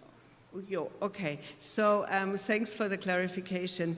Um, we received a number of phone calls, of course, and um, in both refugee resettlement offices asking questions about um, the situation and also the status of Ukrainians. So um, one of the I think the important issues we have to address is that we have at the moment 100 million people who are forced to flee into the category of who is a refugee fit 26 million at the moment. So what you see is that the that the definition of who is a refugee is very, very narrow.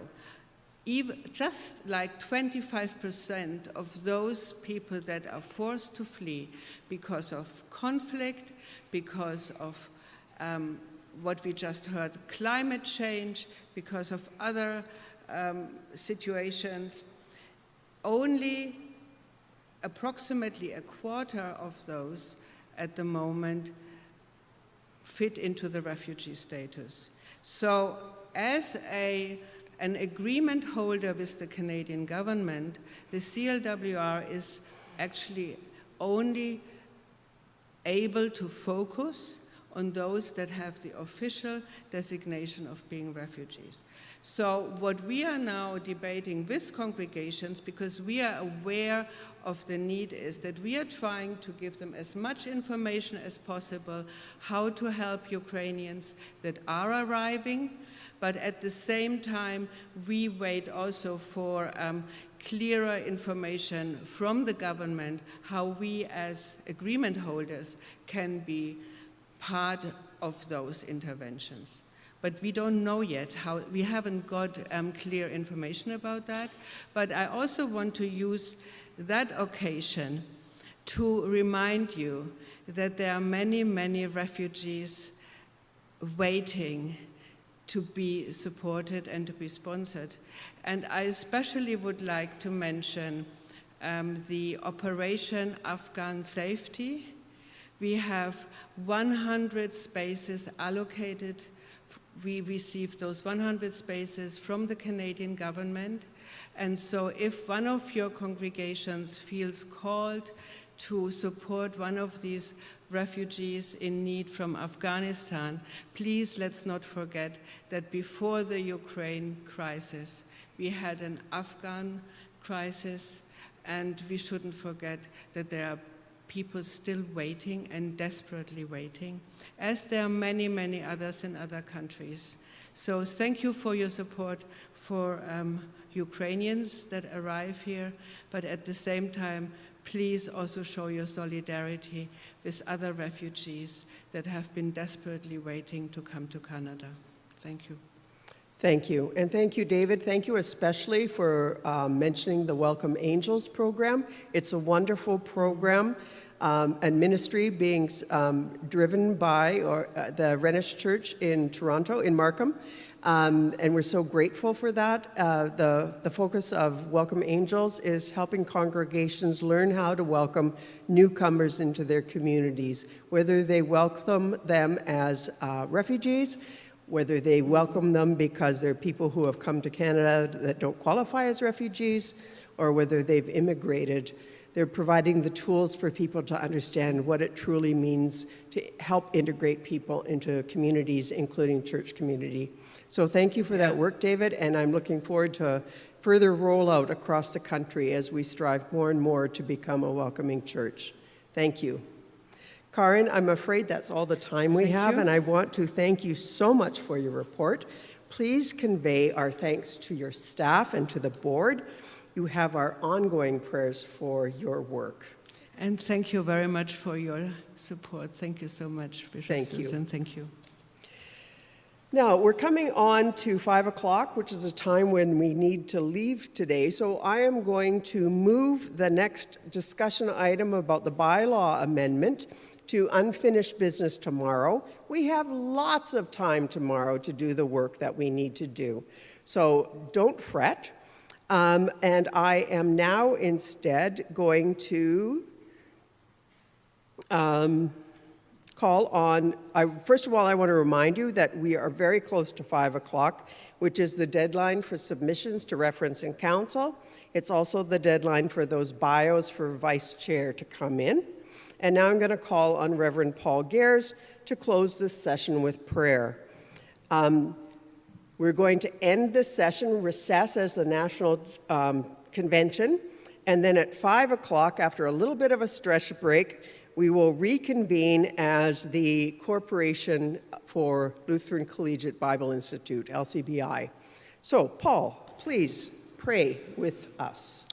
Uh, during this prayer time, you're invited to take a moment to reflect on the work of the Holy Spirit among us. I invite you to begin with a deep breath.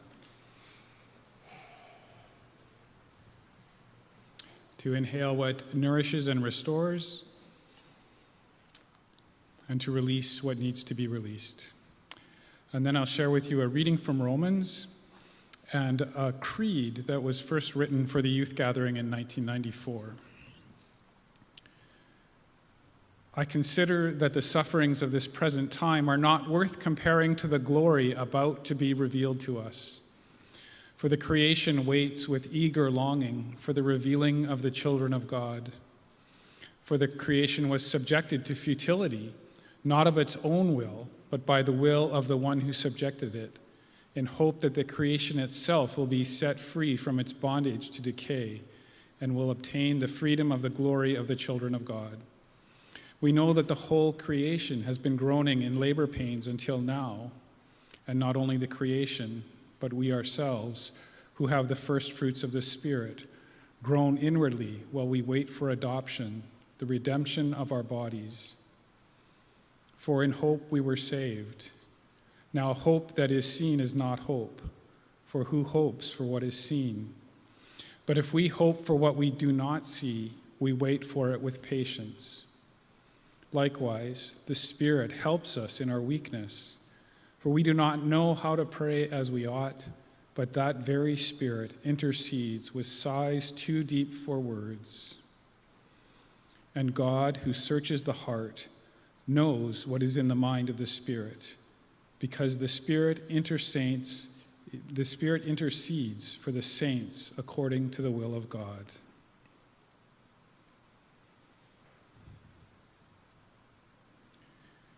We believe in God, in Jesus Christ, in the Holy Spirit, and in you and in me. We believe the Holy Spirit has freed us to worship as a community.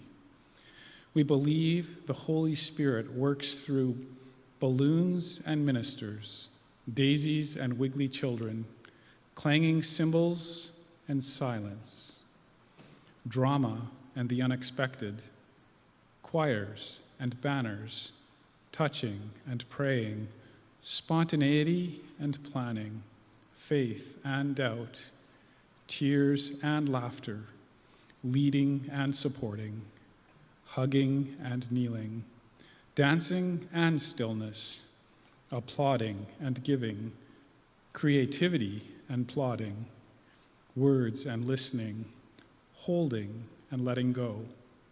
Thank you and help me scripture and alleluias, agonizing and celebrating, accepting and caring, through you and through me, through love. We believe God's Holy Spirit lives in this community of dancing, hand holding people where lines of age and politics and lifestyles are crossed. We believe in praising God for life. We believe in responding to God's grace and love and justice for all people. We believe in the poetry within each of us. We believe in old people running and children leading. We believe in the rate of God within us. We believe in love.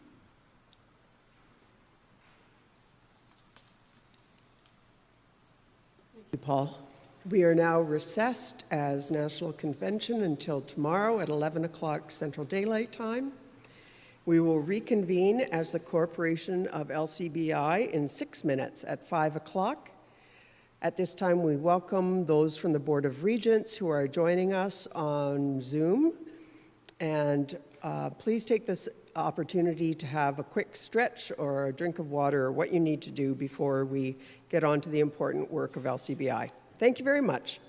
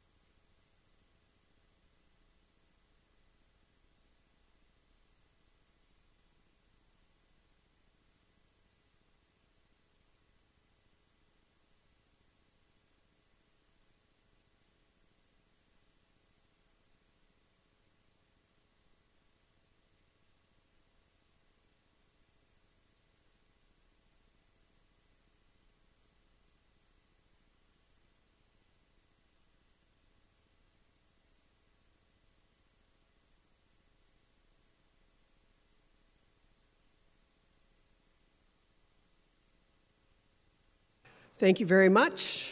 I'd like to call to order the um, corporation meeting of LCBI.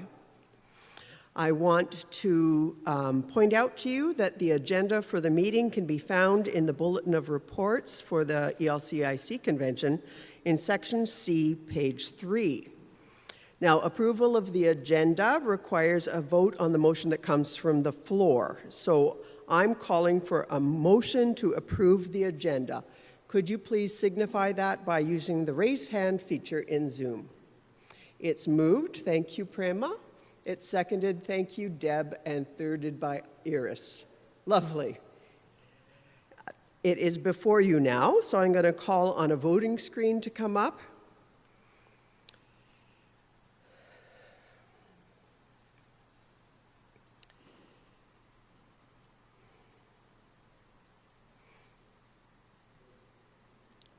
Is it just the display, or do you have one? Are we getting a voting screen? Okay.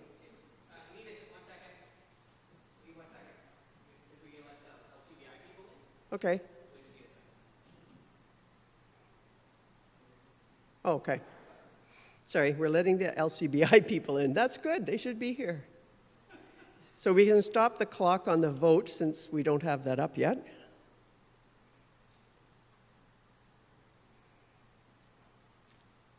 If this is the biggest snag that happens in the next hour, I could care less.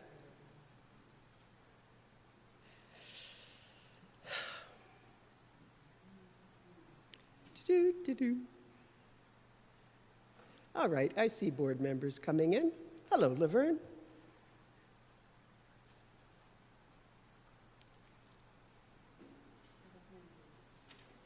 Laverne, do you have a hand up for a reason? Oh, Murray also has a hand up.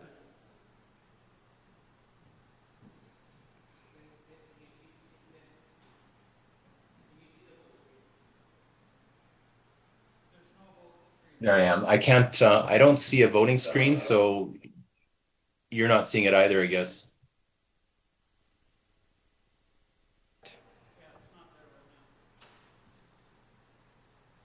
Just be patient, everyone.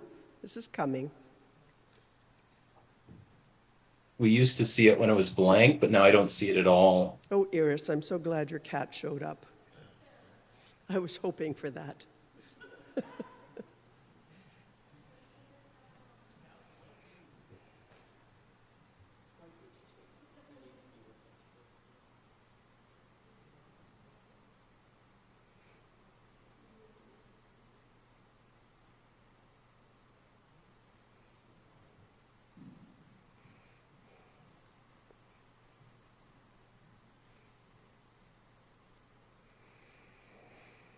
Hmm.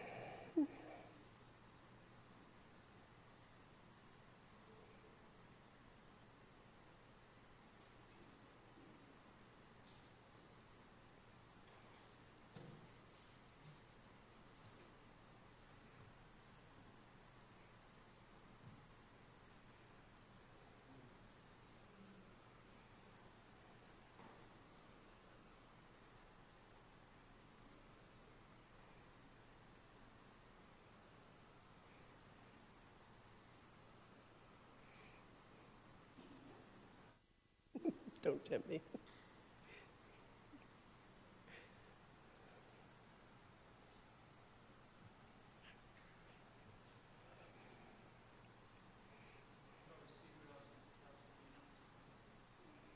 Yes, I could do my.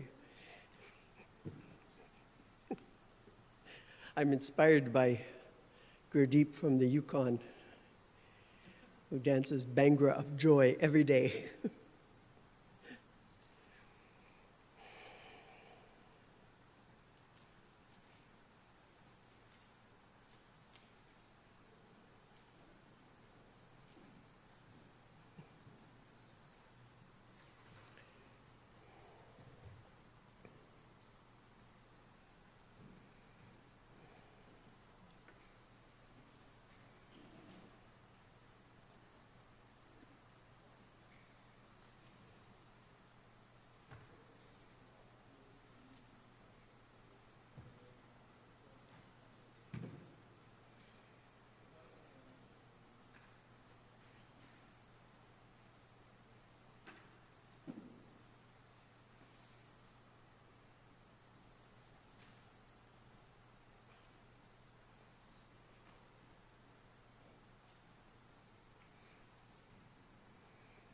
I'm sorry, folks. I, we really do appreciate your valuable time, and we appreciate that you're being patient with us while we sort out this technical issue.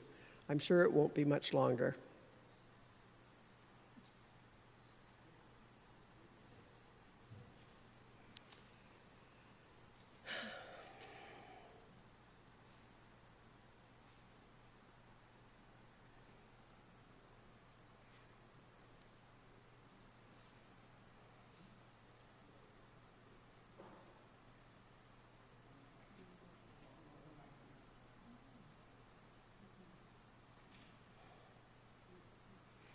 Christina, do you have a hand up? Would I you like to address the group? Sure. Um, my name is Christina I'm Kuhner. sorry, I can't hear you. Oh, Oh, no, there you are. hi, can you hear me? Great. My name is Christina Kunert. I'm from the Eastern Synod. And while we're waiting, I thought I would share that in Hamilton, it's 27 degrees with a 37% chance of humidity. Ah, thank you.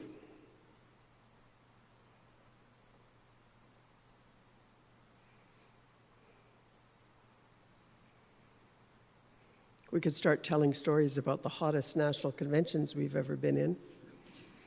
Apparently, the founding convention in Winnipeg was a real cooker. I also fondly remember the youth gathering in Halifax, where the auditorium became known as the Sweatplex. Yes. Doug? Yes, uh, just one quick, at, at some point, could you please make a quick uh, comment? Uh, since a lot of these are recommendations uh, uh, of issues that have been presented, and we're going to be reporting back to the um, ch- uh, church councils and, and our congregations. Uh, since these are recommendations and may have other ramifications, uh, what kind of details should we be uh, expected to to give the full recommendation as they've been given to us?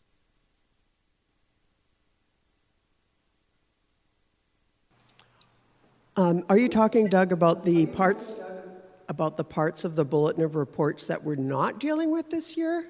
That's correct. Yes. Report on them, except to note that they're there, and we'll be reporting on them next year. So, your discretion. Thank you.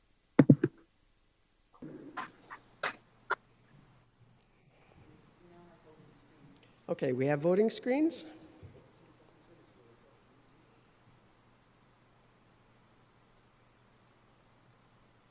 Oh, we have a voting screen. That's wonderful.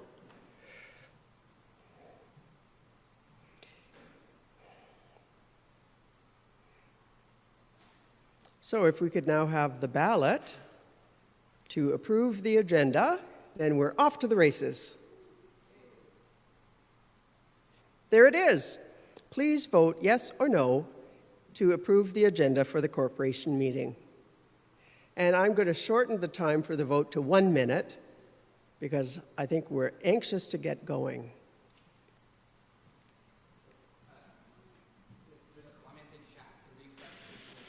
Bishop? Yes. There's a comment in the chat. If you aren't seeing this now, please refresh your screen so that you can have access. Bishop? The, the screen in the platform just got a little tired, so give it a little drink of water by refreshing it, and it will jump back in and show you the vote screen. Yes, the dashboard. I always forget that it's called that. The dashboard. How are we doing for votes?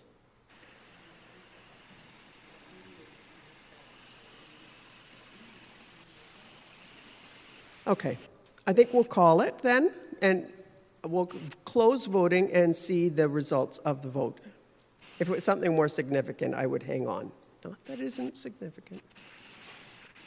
So we'll see the results when they're ready.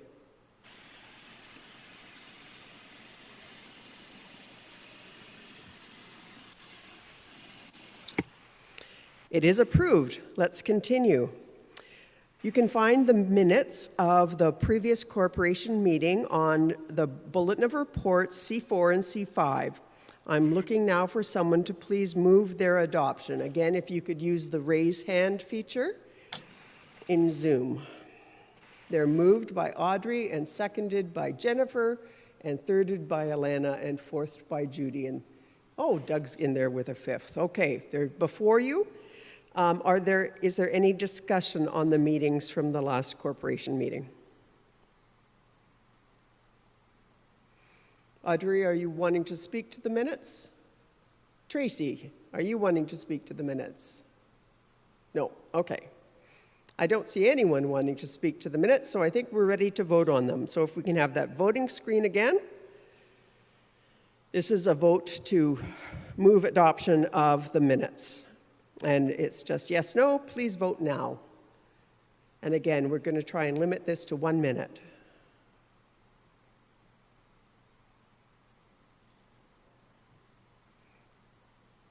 And then I'm going to slow us down.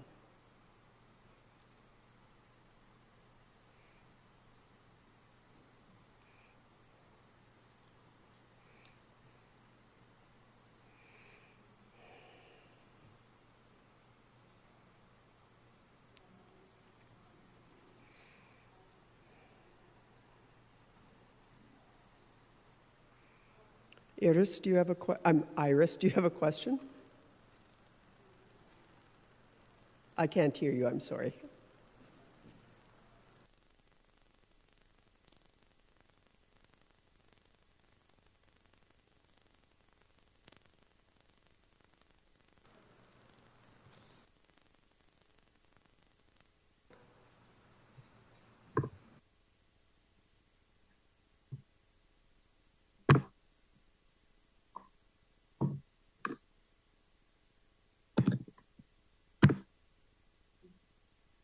Can you hear me? To hear from Iris Schweiger. Yeah, can you hear me? Yeah.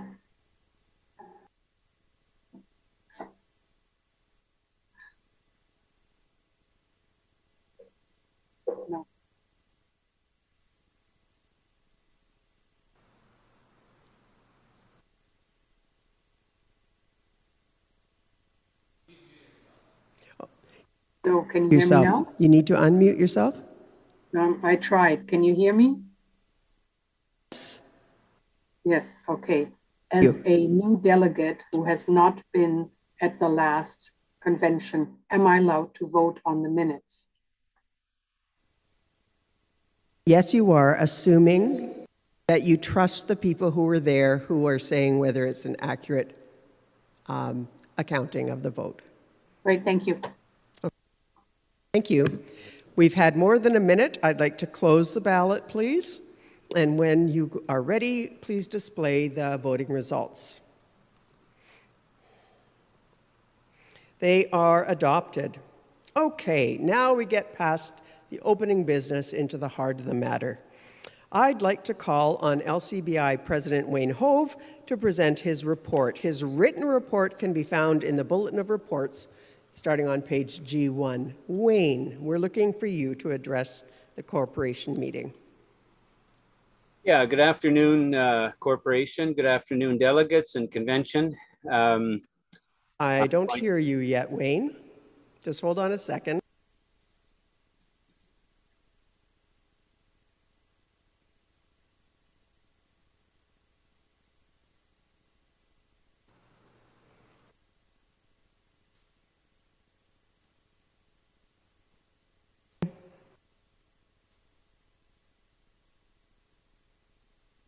Dump it in, uh, Wayne, you can go ahead now. I think we've got it under control. Okay. Sure, thank you. Yeah, good afternoon, uh, delegates and convention and um, uh, bishop and bishops. Um, my privilege uh, to bring our short report here. Um, we uh, uh, have had just a, a, a wonderful year reopening uh, after COVID. The excitement of and much preparation for uh, in-person activity really played a huge role in having a, just just a great year. I have to say, it truly amazes me to see how um, the students bond to each other and to the staff. As the saying goes, we've been uh, watching our pennies and with support from uh, generous alumni, we're managing fairly well.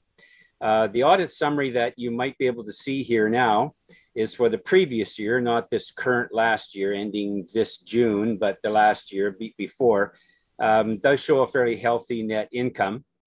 Uh, the current year's income is positive as well, but it's not going to be to the degree of this uh, of that previous year. Uh, when you reopen, um, there's a lot more expenditures, and we did burn through a lot of cash reopening activities and various events. Um, but it is still positive, so it'll be the fifth year in a row now that we've had a positive side to our to our in income. Uh, we've been able to restart a number of extracurricular activities and uh, return to a touring choir and an annual musical.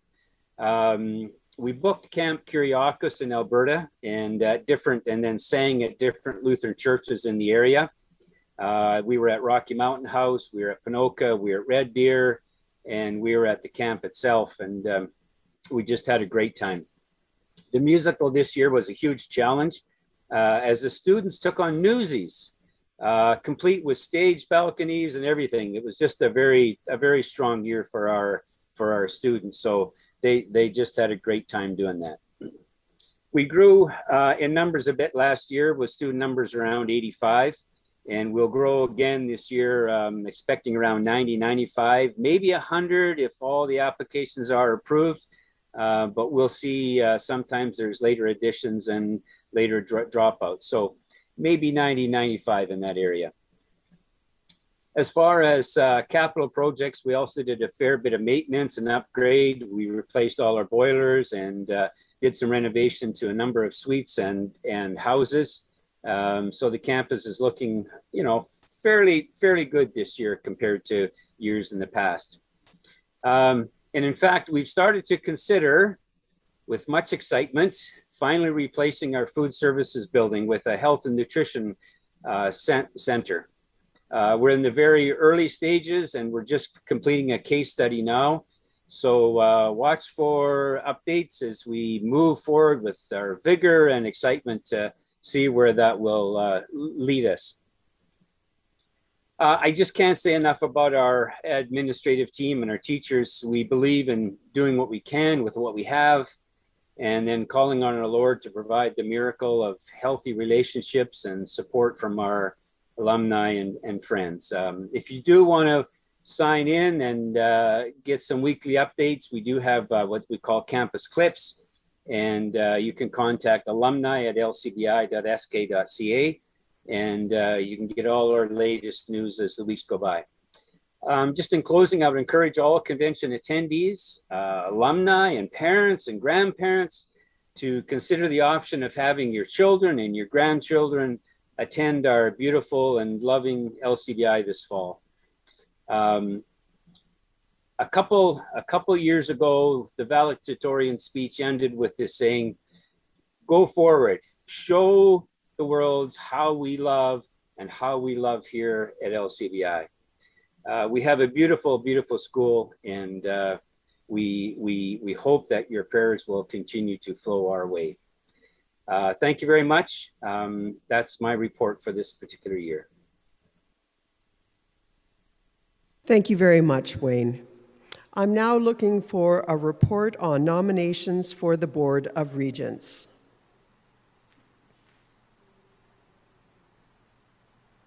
I believe there's a slide.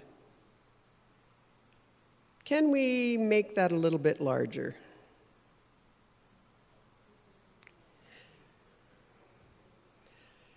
Okay, my,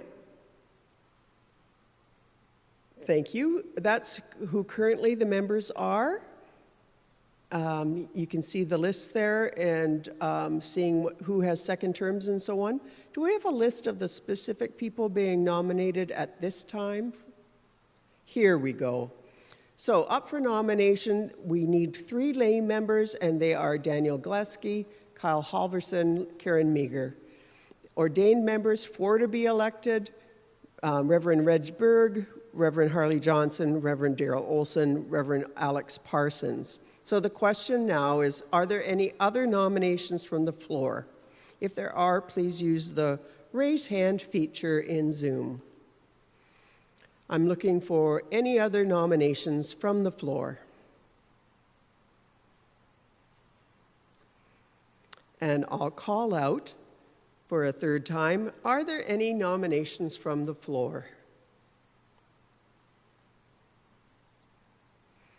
Seeing no one moving a hand or any other thing el- anything else, I declare that those seven persons um, are acclaimed and elected as members of the Board of Regents going forward. Let's give them a round of applause. Thank you very much. So we now have a report on changes to the LCBI Act. And um, I know there is a slideshow to prepare to come up, and my understanding is Daniel Glasky has been able to join us and will be giving the report. We will be acting on a motion related to this after Daniel's report. Daniel, I need you to maybe raise your hand so you can get to the top of the queue. That'll help us find you to spotlight you.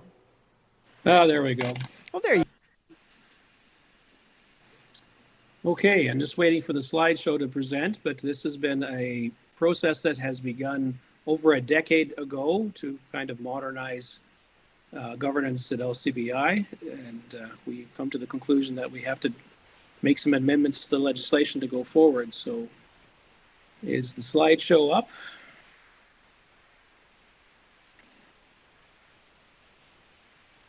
Yes.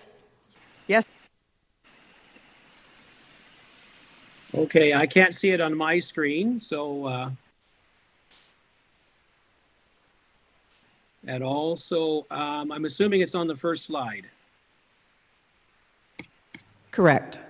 Okay, so um, we'll go to the second slide, and this just gives you a kind of visual representation of the areas of the existing uh, legislation that established LCBI, the areas that we were targeting. We are going to be amending slightly less than half of the uh, of the legislation. Uh, major revisions concern membership, corporation meetings, and officers. Minor revisions are simply modernization of some of the language and references, particularly with financial ones. So we'll go through the sections bit by bit that, that we are changing. Next slide, please.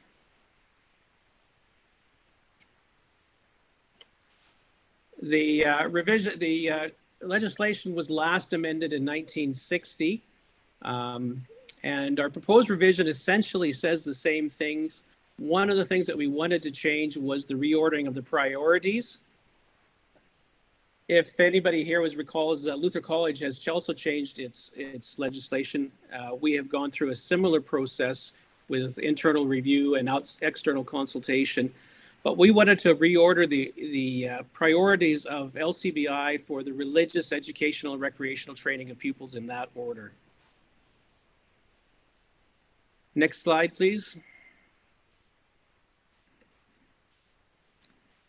In section 2A, acquisition of property, the only thing that we're going to be deleting is a whole bunch of provisions that were made in 1960 for uncertain reasons. But 60 years of inflation have created a bunch of shackles that we would like to remove.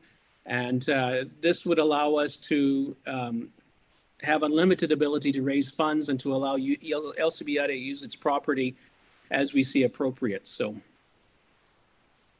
next slide, please.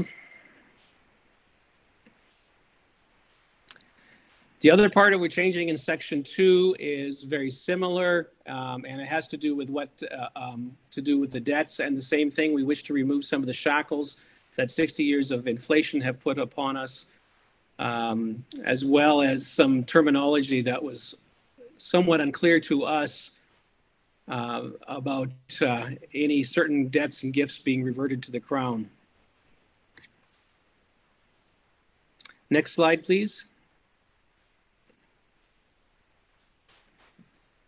In section six, we are changing some of the execution of instruments just to make reference that um, for signing authority is that the Board of Regents becomes the governing authority of the LCBI rather than the corporation at its nat- at the national convention, which would only be every three years.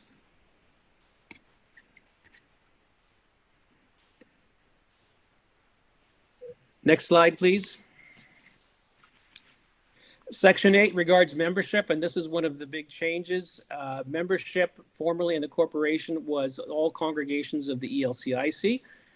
The way we are changing it, it essentially is, is that all congregations of the, any congregation of the ELCIC can still apply to become to maintain membership into the uh, LCBI corporation. Uh, but we are going to permit other Lutheran congregations, and then a subclause also has individuals who are of any Lutheran congregation which itself is not a member. This would allow um, alumni that uh, have scattered across even the globe, as they are members of any Lutheran congregation, is they can themselves become a member and stay involved in the governance of LCBI. Uh, section two is the corporation may grant associate membership according to the Constitution and bylaws. This allows us to potentially expand uh, to become more ecumenical in our uh, um, support and outreach and service. Next slide, please.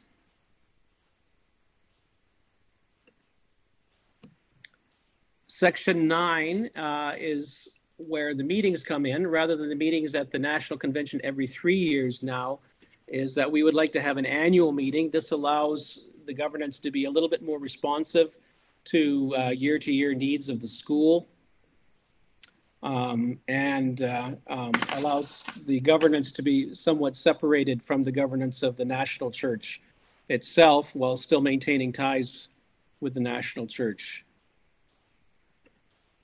Next slide, please.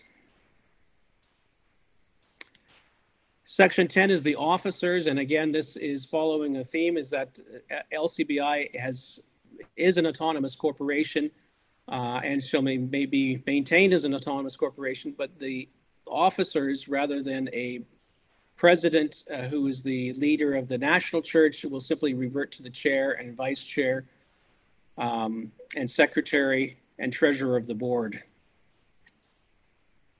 This is to recognize that LCBI does act independently from ELCIC and that our offices are no longer tied with the offices of the ELCIC.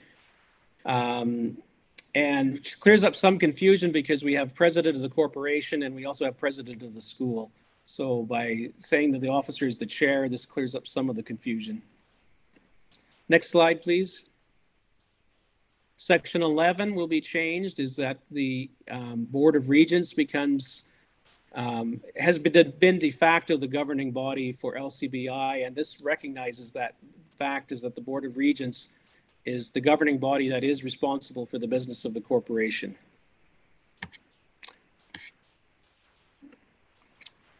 Uh, that is the changes to the legislation that we are having in a nutshell. The details are in the uh, bulletin of reports. And uh, we can entertain some questions. Um, going forth. Very much. Thank you. I will um, recognize Karen Stepko. Karen, unmute yourself, please. Uh, Karen Stepko, a roster delegate from Sask Synod. Uh, I had a question about the uh, acclamation of those seven board members. If this does not pass, would that affect uh, some of them? Because I know one roster delegate is a North American Lutheran Church pastor, and the other one is an Anglican church uh, priest, but I'm not sure if it would affect them as much as since we're in full communion with the Anglican church. Uh, yeah, we've looked at that in detail. Is that there had been some changes to the Constitution several years ago that allowed uh, members to uh, uh not be restricted to the Evangelical Lutheran Church in Canada, um, and uh, the uh, um, associate members of the associate member congregations can be elected to the Board of Regents. So even if this does not pass, this does not change the vote at all.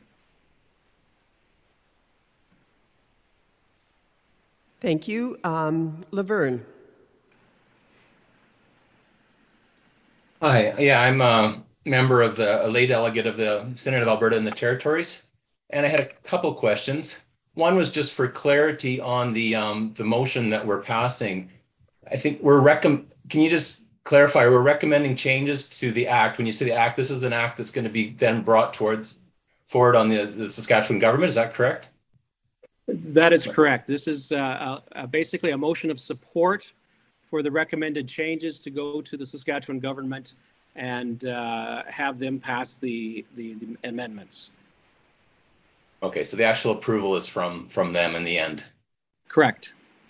Okay, okay. And my second question then is, is this then the intent then that LCBI then becomes an independent corporation with, with, before it was a school of, of ELCIC, is it still going to be considered a school of E VIC, ELCIC? Well, it still is, it, it, it has been an independent institution. It's just its governance has been entangled so much with the ELCIC. It still remains a school of the ELCIC, but it is not in the ELCIC. Um, and really, constitutionally, it hasn't been in the ELCIC. There's just been shared governance. So this is similar to like, say, Luther College? Um, Luther College's changes, though, maintain ties with the ELCIC only through local congregations. LCBI, being an outlook, which is a small community, has to maintain a much broader outlook. And so we would encourage, uh, you know, all ELCIC congregations to take a look at, at maintaining membership. Okay, thank you.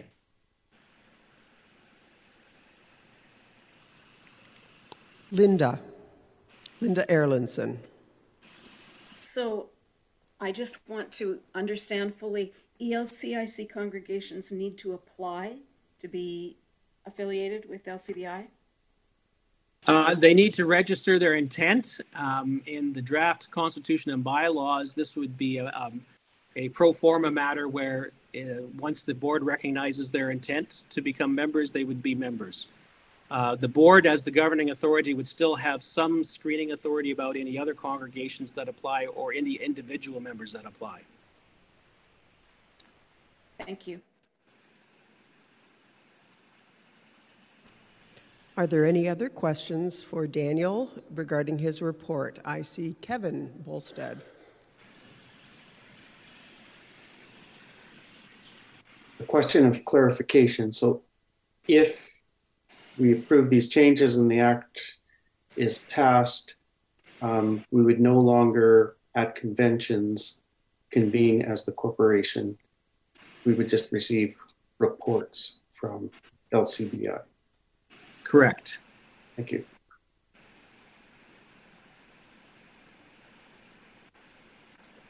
Um, Doug, I see your hand up.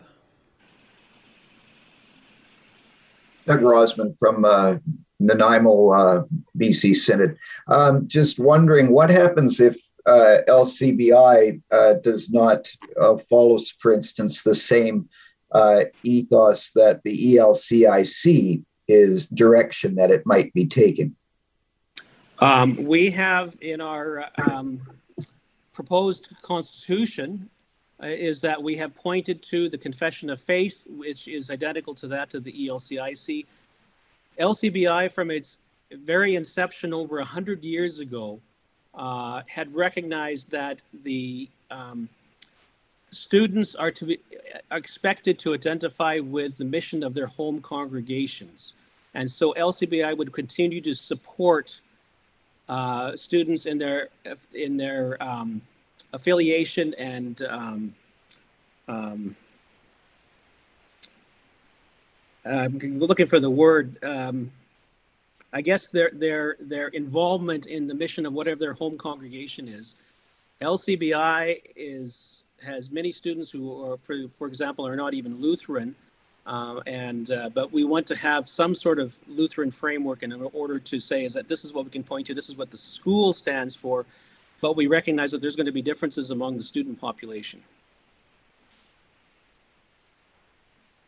Of which a good number come from the ELCIC. So again, we would recognize and encourage them and support them in identification with the mission of their home congregations. Are there any further questions?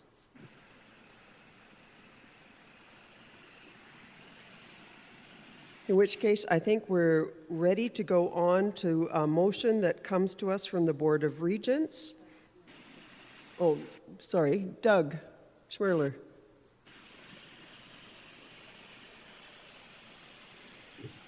Okay. I'm sorry, Doug, you're not. Yeah, I got it. That's fine. Oh. Thank you. Um, with the changes to, with the changes to wanting to accept membership outside of the Lutheran Anglican community, are you not in any way, shape, or form concerned that that may, in fact, um, cause some kind of divisions within the Lutheran Church and most more specifically the ELCIC, where memberships as, as a result may be dropped. Um, I'm not sure I quite understand your question. Okay, well, you have memberships from ELCIC congregations. Correct. Correct? Yes. Okay. So by suggesting that you are, and the Board of Regents are willing to accept memberships outside of the Lutheran Anglican community, are you not at all, at least concerned a little bit that the current ELCIC memberships might not appreciate that? Um, the, I mean, currently there are members who are not in the ELCIC right now. Uh, the only extension would be to Anglicans for full membership in our proposed constitution and bylaws. Um, so it's the membership is still going to be restricted to Lutherans, and we, you know, one of the things is that we we want them to acknowledge is the statement of faith that's in uh, our new proposed constitution and is also in the ELCIC constitution, and that is going to be our reference point. Okay. Um, I, I guess I didn't quite understand that part of the, of, it went, I guess it went by so quickly. But, uh, okay, so then my concerns are you've, you've taken care of that. And furthermore, is, is that only ELCIC congregations are granted basically an automatic pass into membership. Everything else will need to be screened by the, um, the Board of Regents. Okay? Thank you for that. Okay, I'd like to get the actual motion on the table. This comes from the Board of Regents and does not need to be moved or seconded. It is we, as the current members of the corporation known as Lutheran Collegiate Bible Institute, LCBI, A, support and direct the Board of Regents to petition the legislature of the province of Saskatchewan to amend an act to incorporate the Lutheran Collegiate Bible Institute, SS 1960 C90, substantially in the form as presented. Acknowledge that as a result of these amendments, we will no longer be members of LCBI. However, we recognize that any congregation in the ELCIC is eligible for membership, as are other Lutheran congregations and certain individuals. And C, direct the Board of Regents to enact the Constitution and bylaws substantially in the form as provided following the amendments of the Act. So that motion is now before you, and we are open for discussion on the motion. Linda?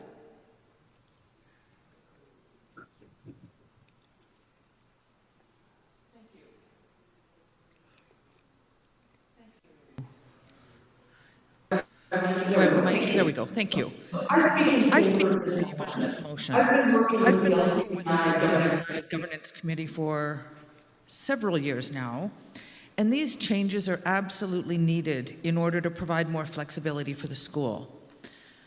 So that you understand the process, we're not passing these changes, we're asking you to support, or we, us, for us to support them. And it's crucial that we have the support of the current members in order for this to be presented to the legislature in the, in the fall.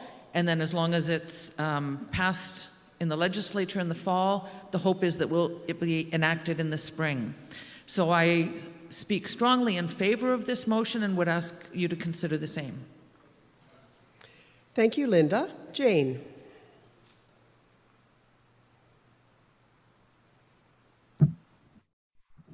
Uh, Thank you, Bishop Susan. Um, I, I do think I speak in favor of the motion. I wonder if there are students at this time who would feel abandoned uh, by the severing from the ELCIC. I'm not sure of the makeup of the school at this time with 85 students and whether um, there are many or any from the ELCIC. Um, I'm not sure if that information is available, um, but I guess I would say I'm, I'm, I would be curious to wonder if there are people who would uh, feel like we are uh, abandoning the school by this motion, though I do support it. Thank you. Thank you. Um, I'll come back and see if we can answer, get an answer to that later. Mark? Mark Jerry, I recognize you. Thanks, Bishop Susan. I uh, just wanted to share, uh, uh, I'm in support of the motion as well. As you know, Luther College went through this process in 2019, and we still enjoy a very positive relationship with the ELCIC, including having the bishops and other members of our corporation as part of our annual meeting. What it does do is it helps simplify the governance process in terms of the operation of the school. And so I'd support uh, the motion to help LCBI uh, move in that direction. Thank you, Mark. Anyone else wishing to speak to the motion? Wayne, can maybe you can answer Jane's question? Uh, yes, uh, thanks, Jane, for the question. Um, right now, about 60% uh, and sometimes 70%, it's just sometimes there's a loose affiliation, but are, are considered Lutheran, and about half of those, again, are ELCIC. Um, but the way the school um, operates, um, let me say we are a Lutheran school. Uh, I want to make that clear for sure. And for many, many years, the interaction between students from ELCIC, Lutheran Brethren, CALC, um, LCC have been have been very close. Um, we really formed the bond around we would see Jesus, and not so much the specifics of the denomination. Um, but but no, I, I, I would suggest not because we do um, we do very much take a Lutheran perspective to everything that that we do. I recognize Shay. Uh, Shay Belanger from the Alberta Northwest Territories Synod. I speak in favor of the motion. COVID 19 has taught us that things change rapidly in, in the world these days.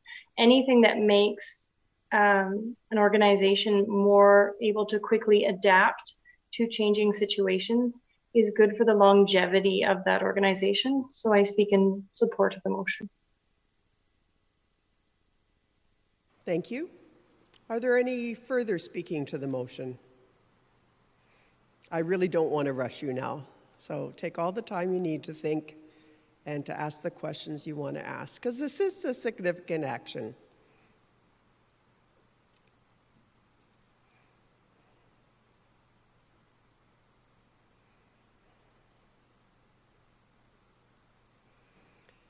Christian. Hi, uh, I am unmuted, right? There, now you can hear me. Uh, my name is Christian Wold, a roster delegate from uh, Hope Lutheran Calgary. Uh, I, I'm in favor very much of this uh, this motion that allows for that greater flexibility that we're speaking of and meeting the challenges here. Uh, my question is is maybe belong to the last section, but just a point of clarity about what it means for a congregation to be a member of the corporation. Um, at general meetings, then do congregations send representatives? Is that the the idea there? That is correct. Oh, thank you Daniel, you. do you want to add to that? Um, yeah, so the intention is, is that by a congregational um, membership is that the congregation will have a slightly greater voice than if individual members, um, than individuals who are members. So we want to give a little bit more weighting to congregations who wish to it. The other thing is, is that the ex- expectations of congregations um, is some indication of support, whether this means advertising the school, sending monetary support, hosting choir events, whatever. But we do expect some um, some degree of support of somehow from the, the member congregations. Thank you.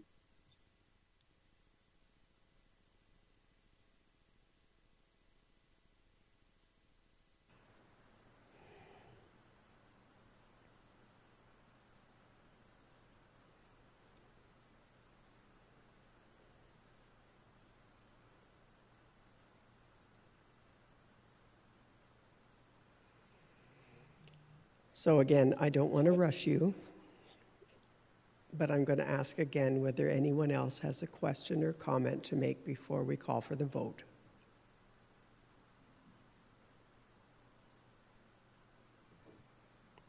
Karen.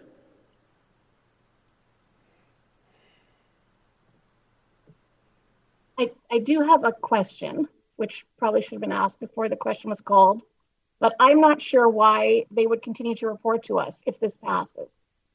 Because he did mention that would, they would continue to report, although we wouldn't be having these meetings.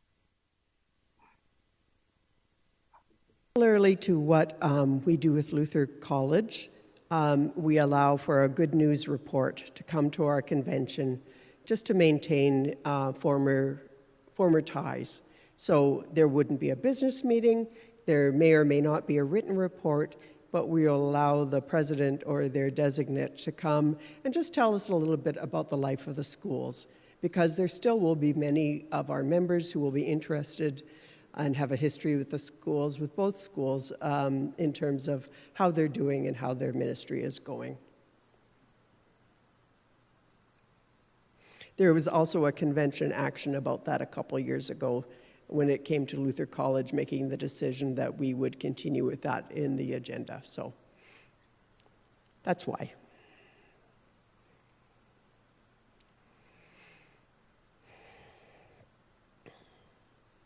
Are there any further speaking?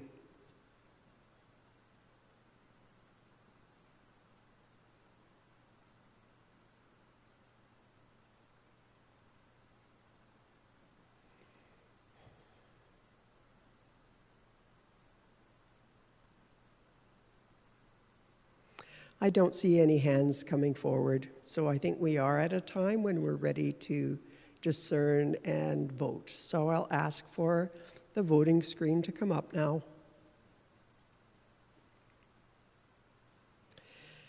So the vote is to support the proposed amendments to the LCBI Act.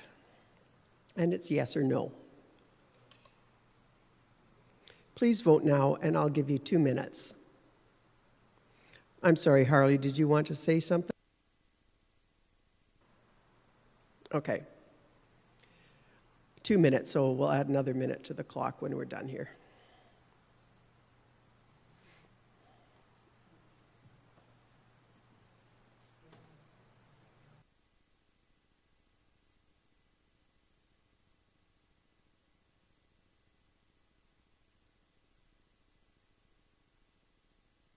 I'm sorry, Daniel, did you have a question?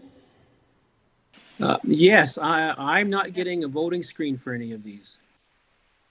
And I believe Murray hasn't gotten one either. You have to refresh your screen. I have I've been refreshing.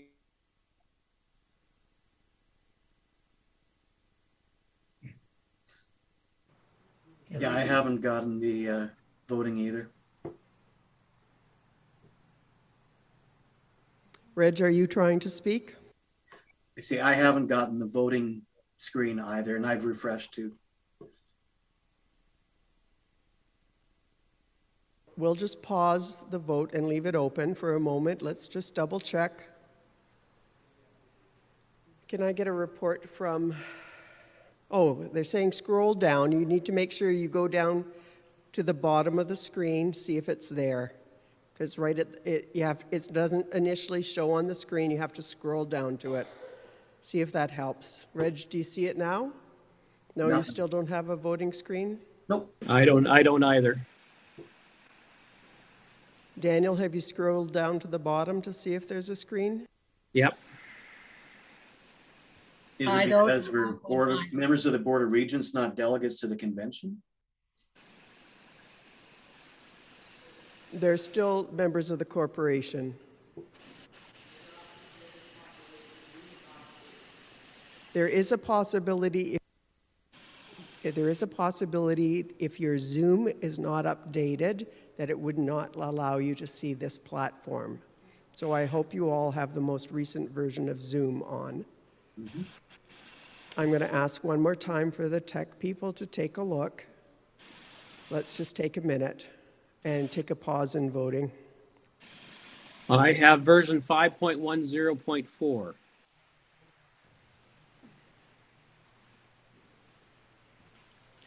I see you, Catherine, and if it's the same question, I'm just going to say, let's just wait a sec and make sure that the Board of Regents has a voting screen as well. Okay? Just hang on. If there's something else you want to say, Catherine, then please un- unmute. Okay, just be patient, people. We have time.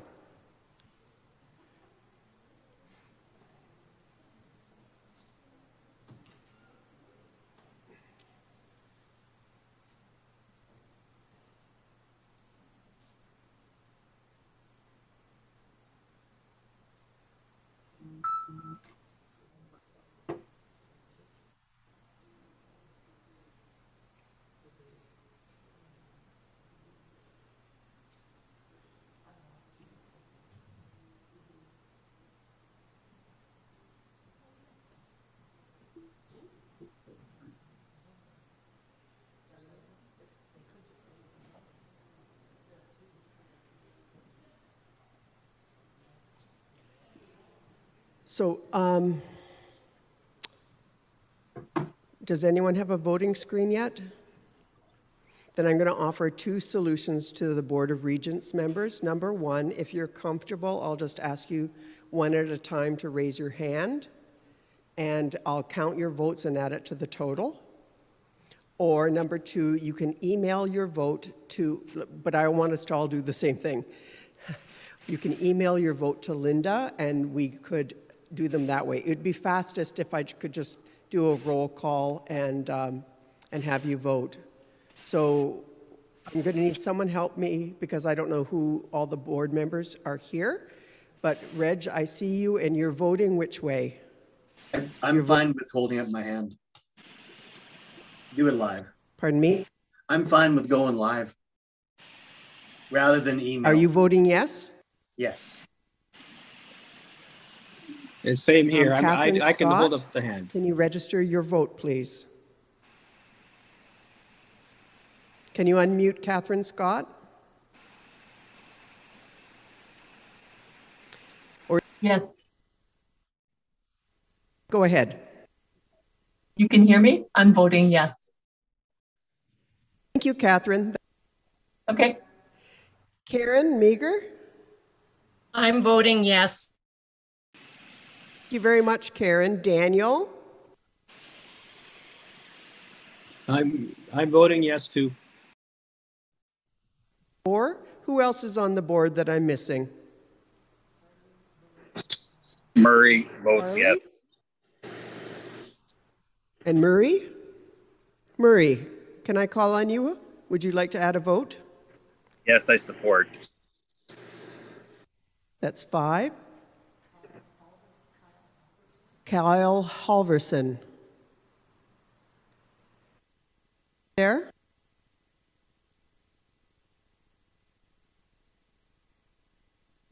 Harley Johnson. Harley, are you there?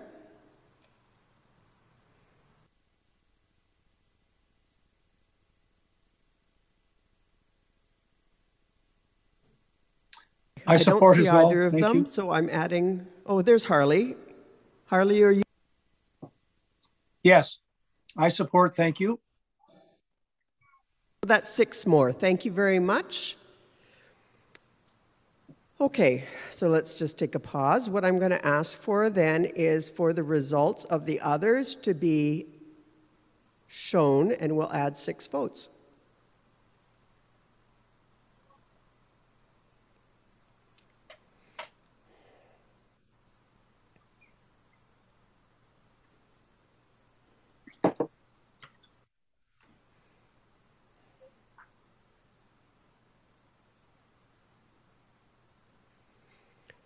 So it has overwhelmingly carried plus six votes. Sarah Wynot, are you asking a question?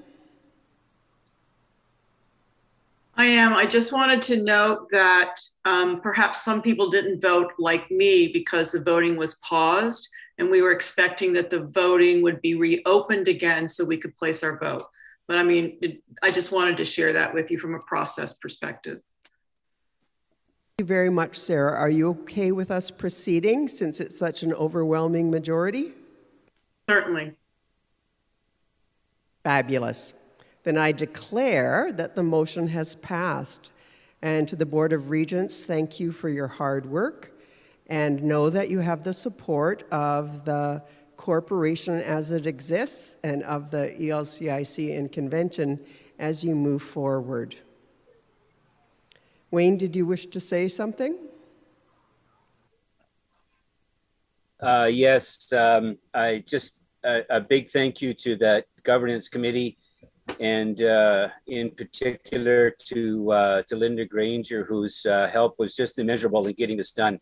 Um, she has represented the ELCIC very well, and um, I, I I I just I just think it would have been a very difficult task without her. So a big thanks to Linda. Thank you.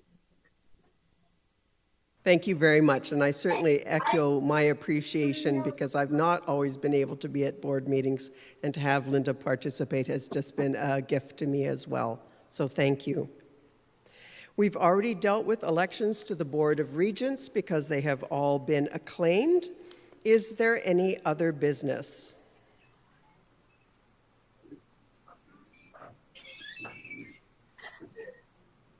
Karen, your hand is still up. Are you wanting to raise something?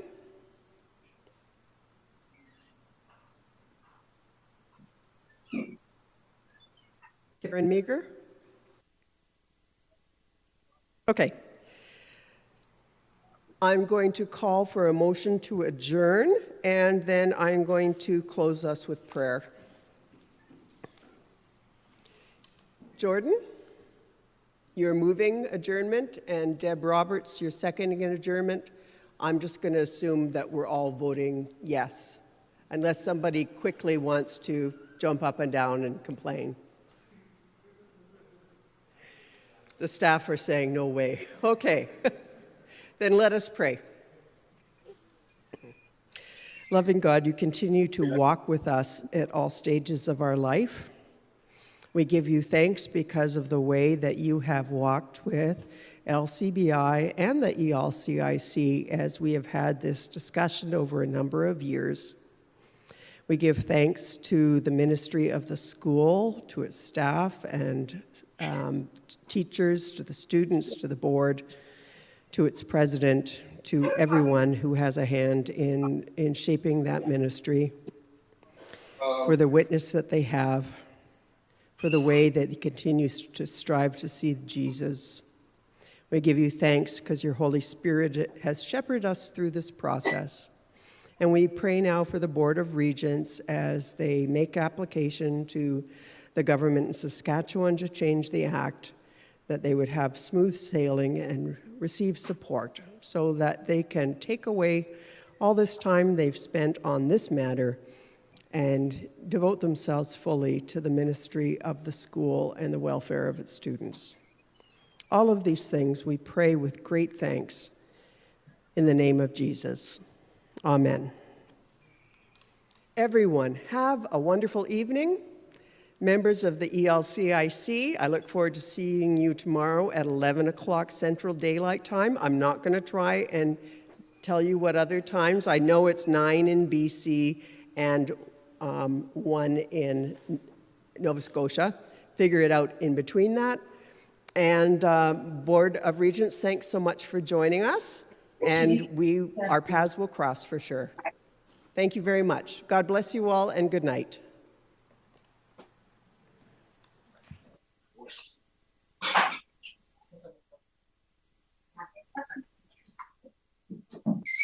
Mia, Yeah. you want to shut this down quickly? We're all done. You want to turn it off? Yeah. I'm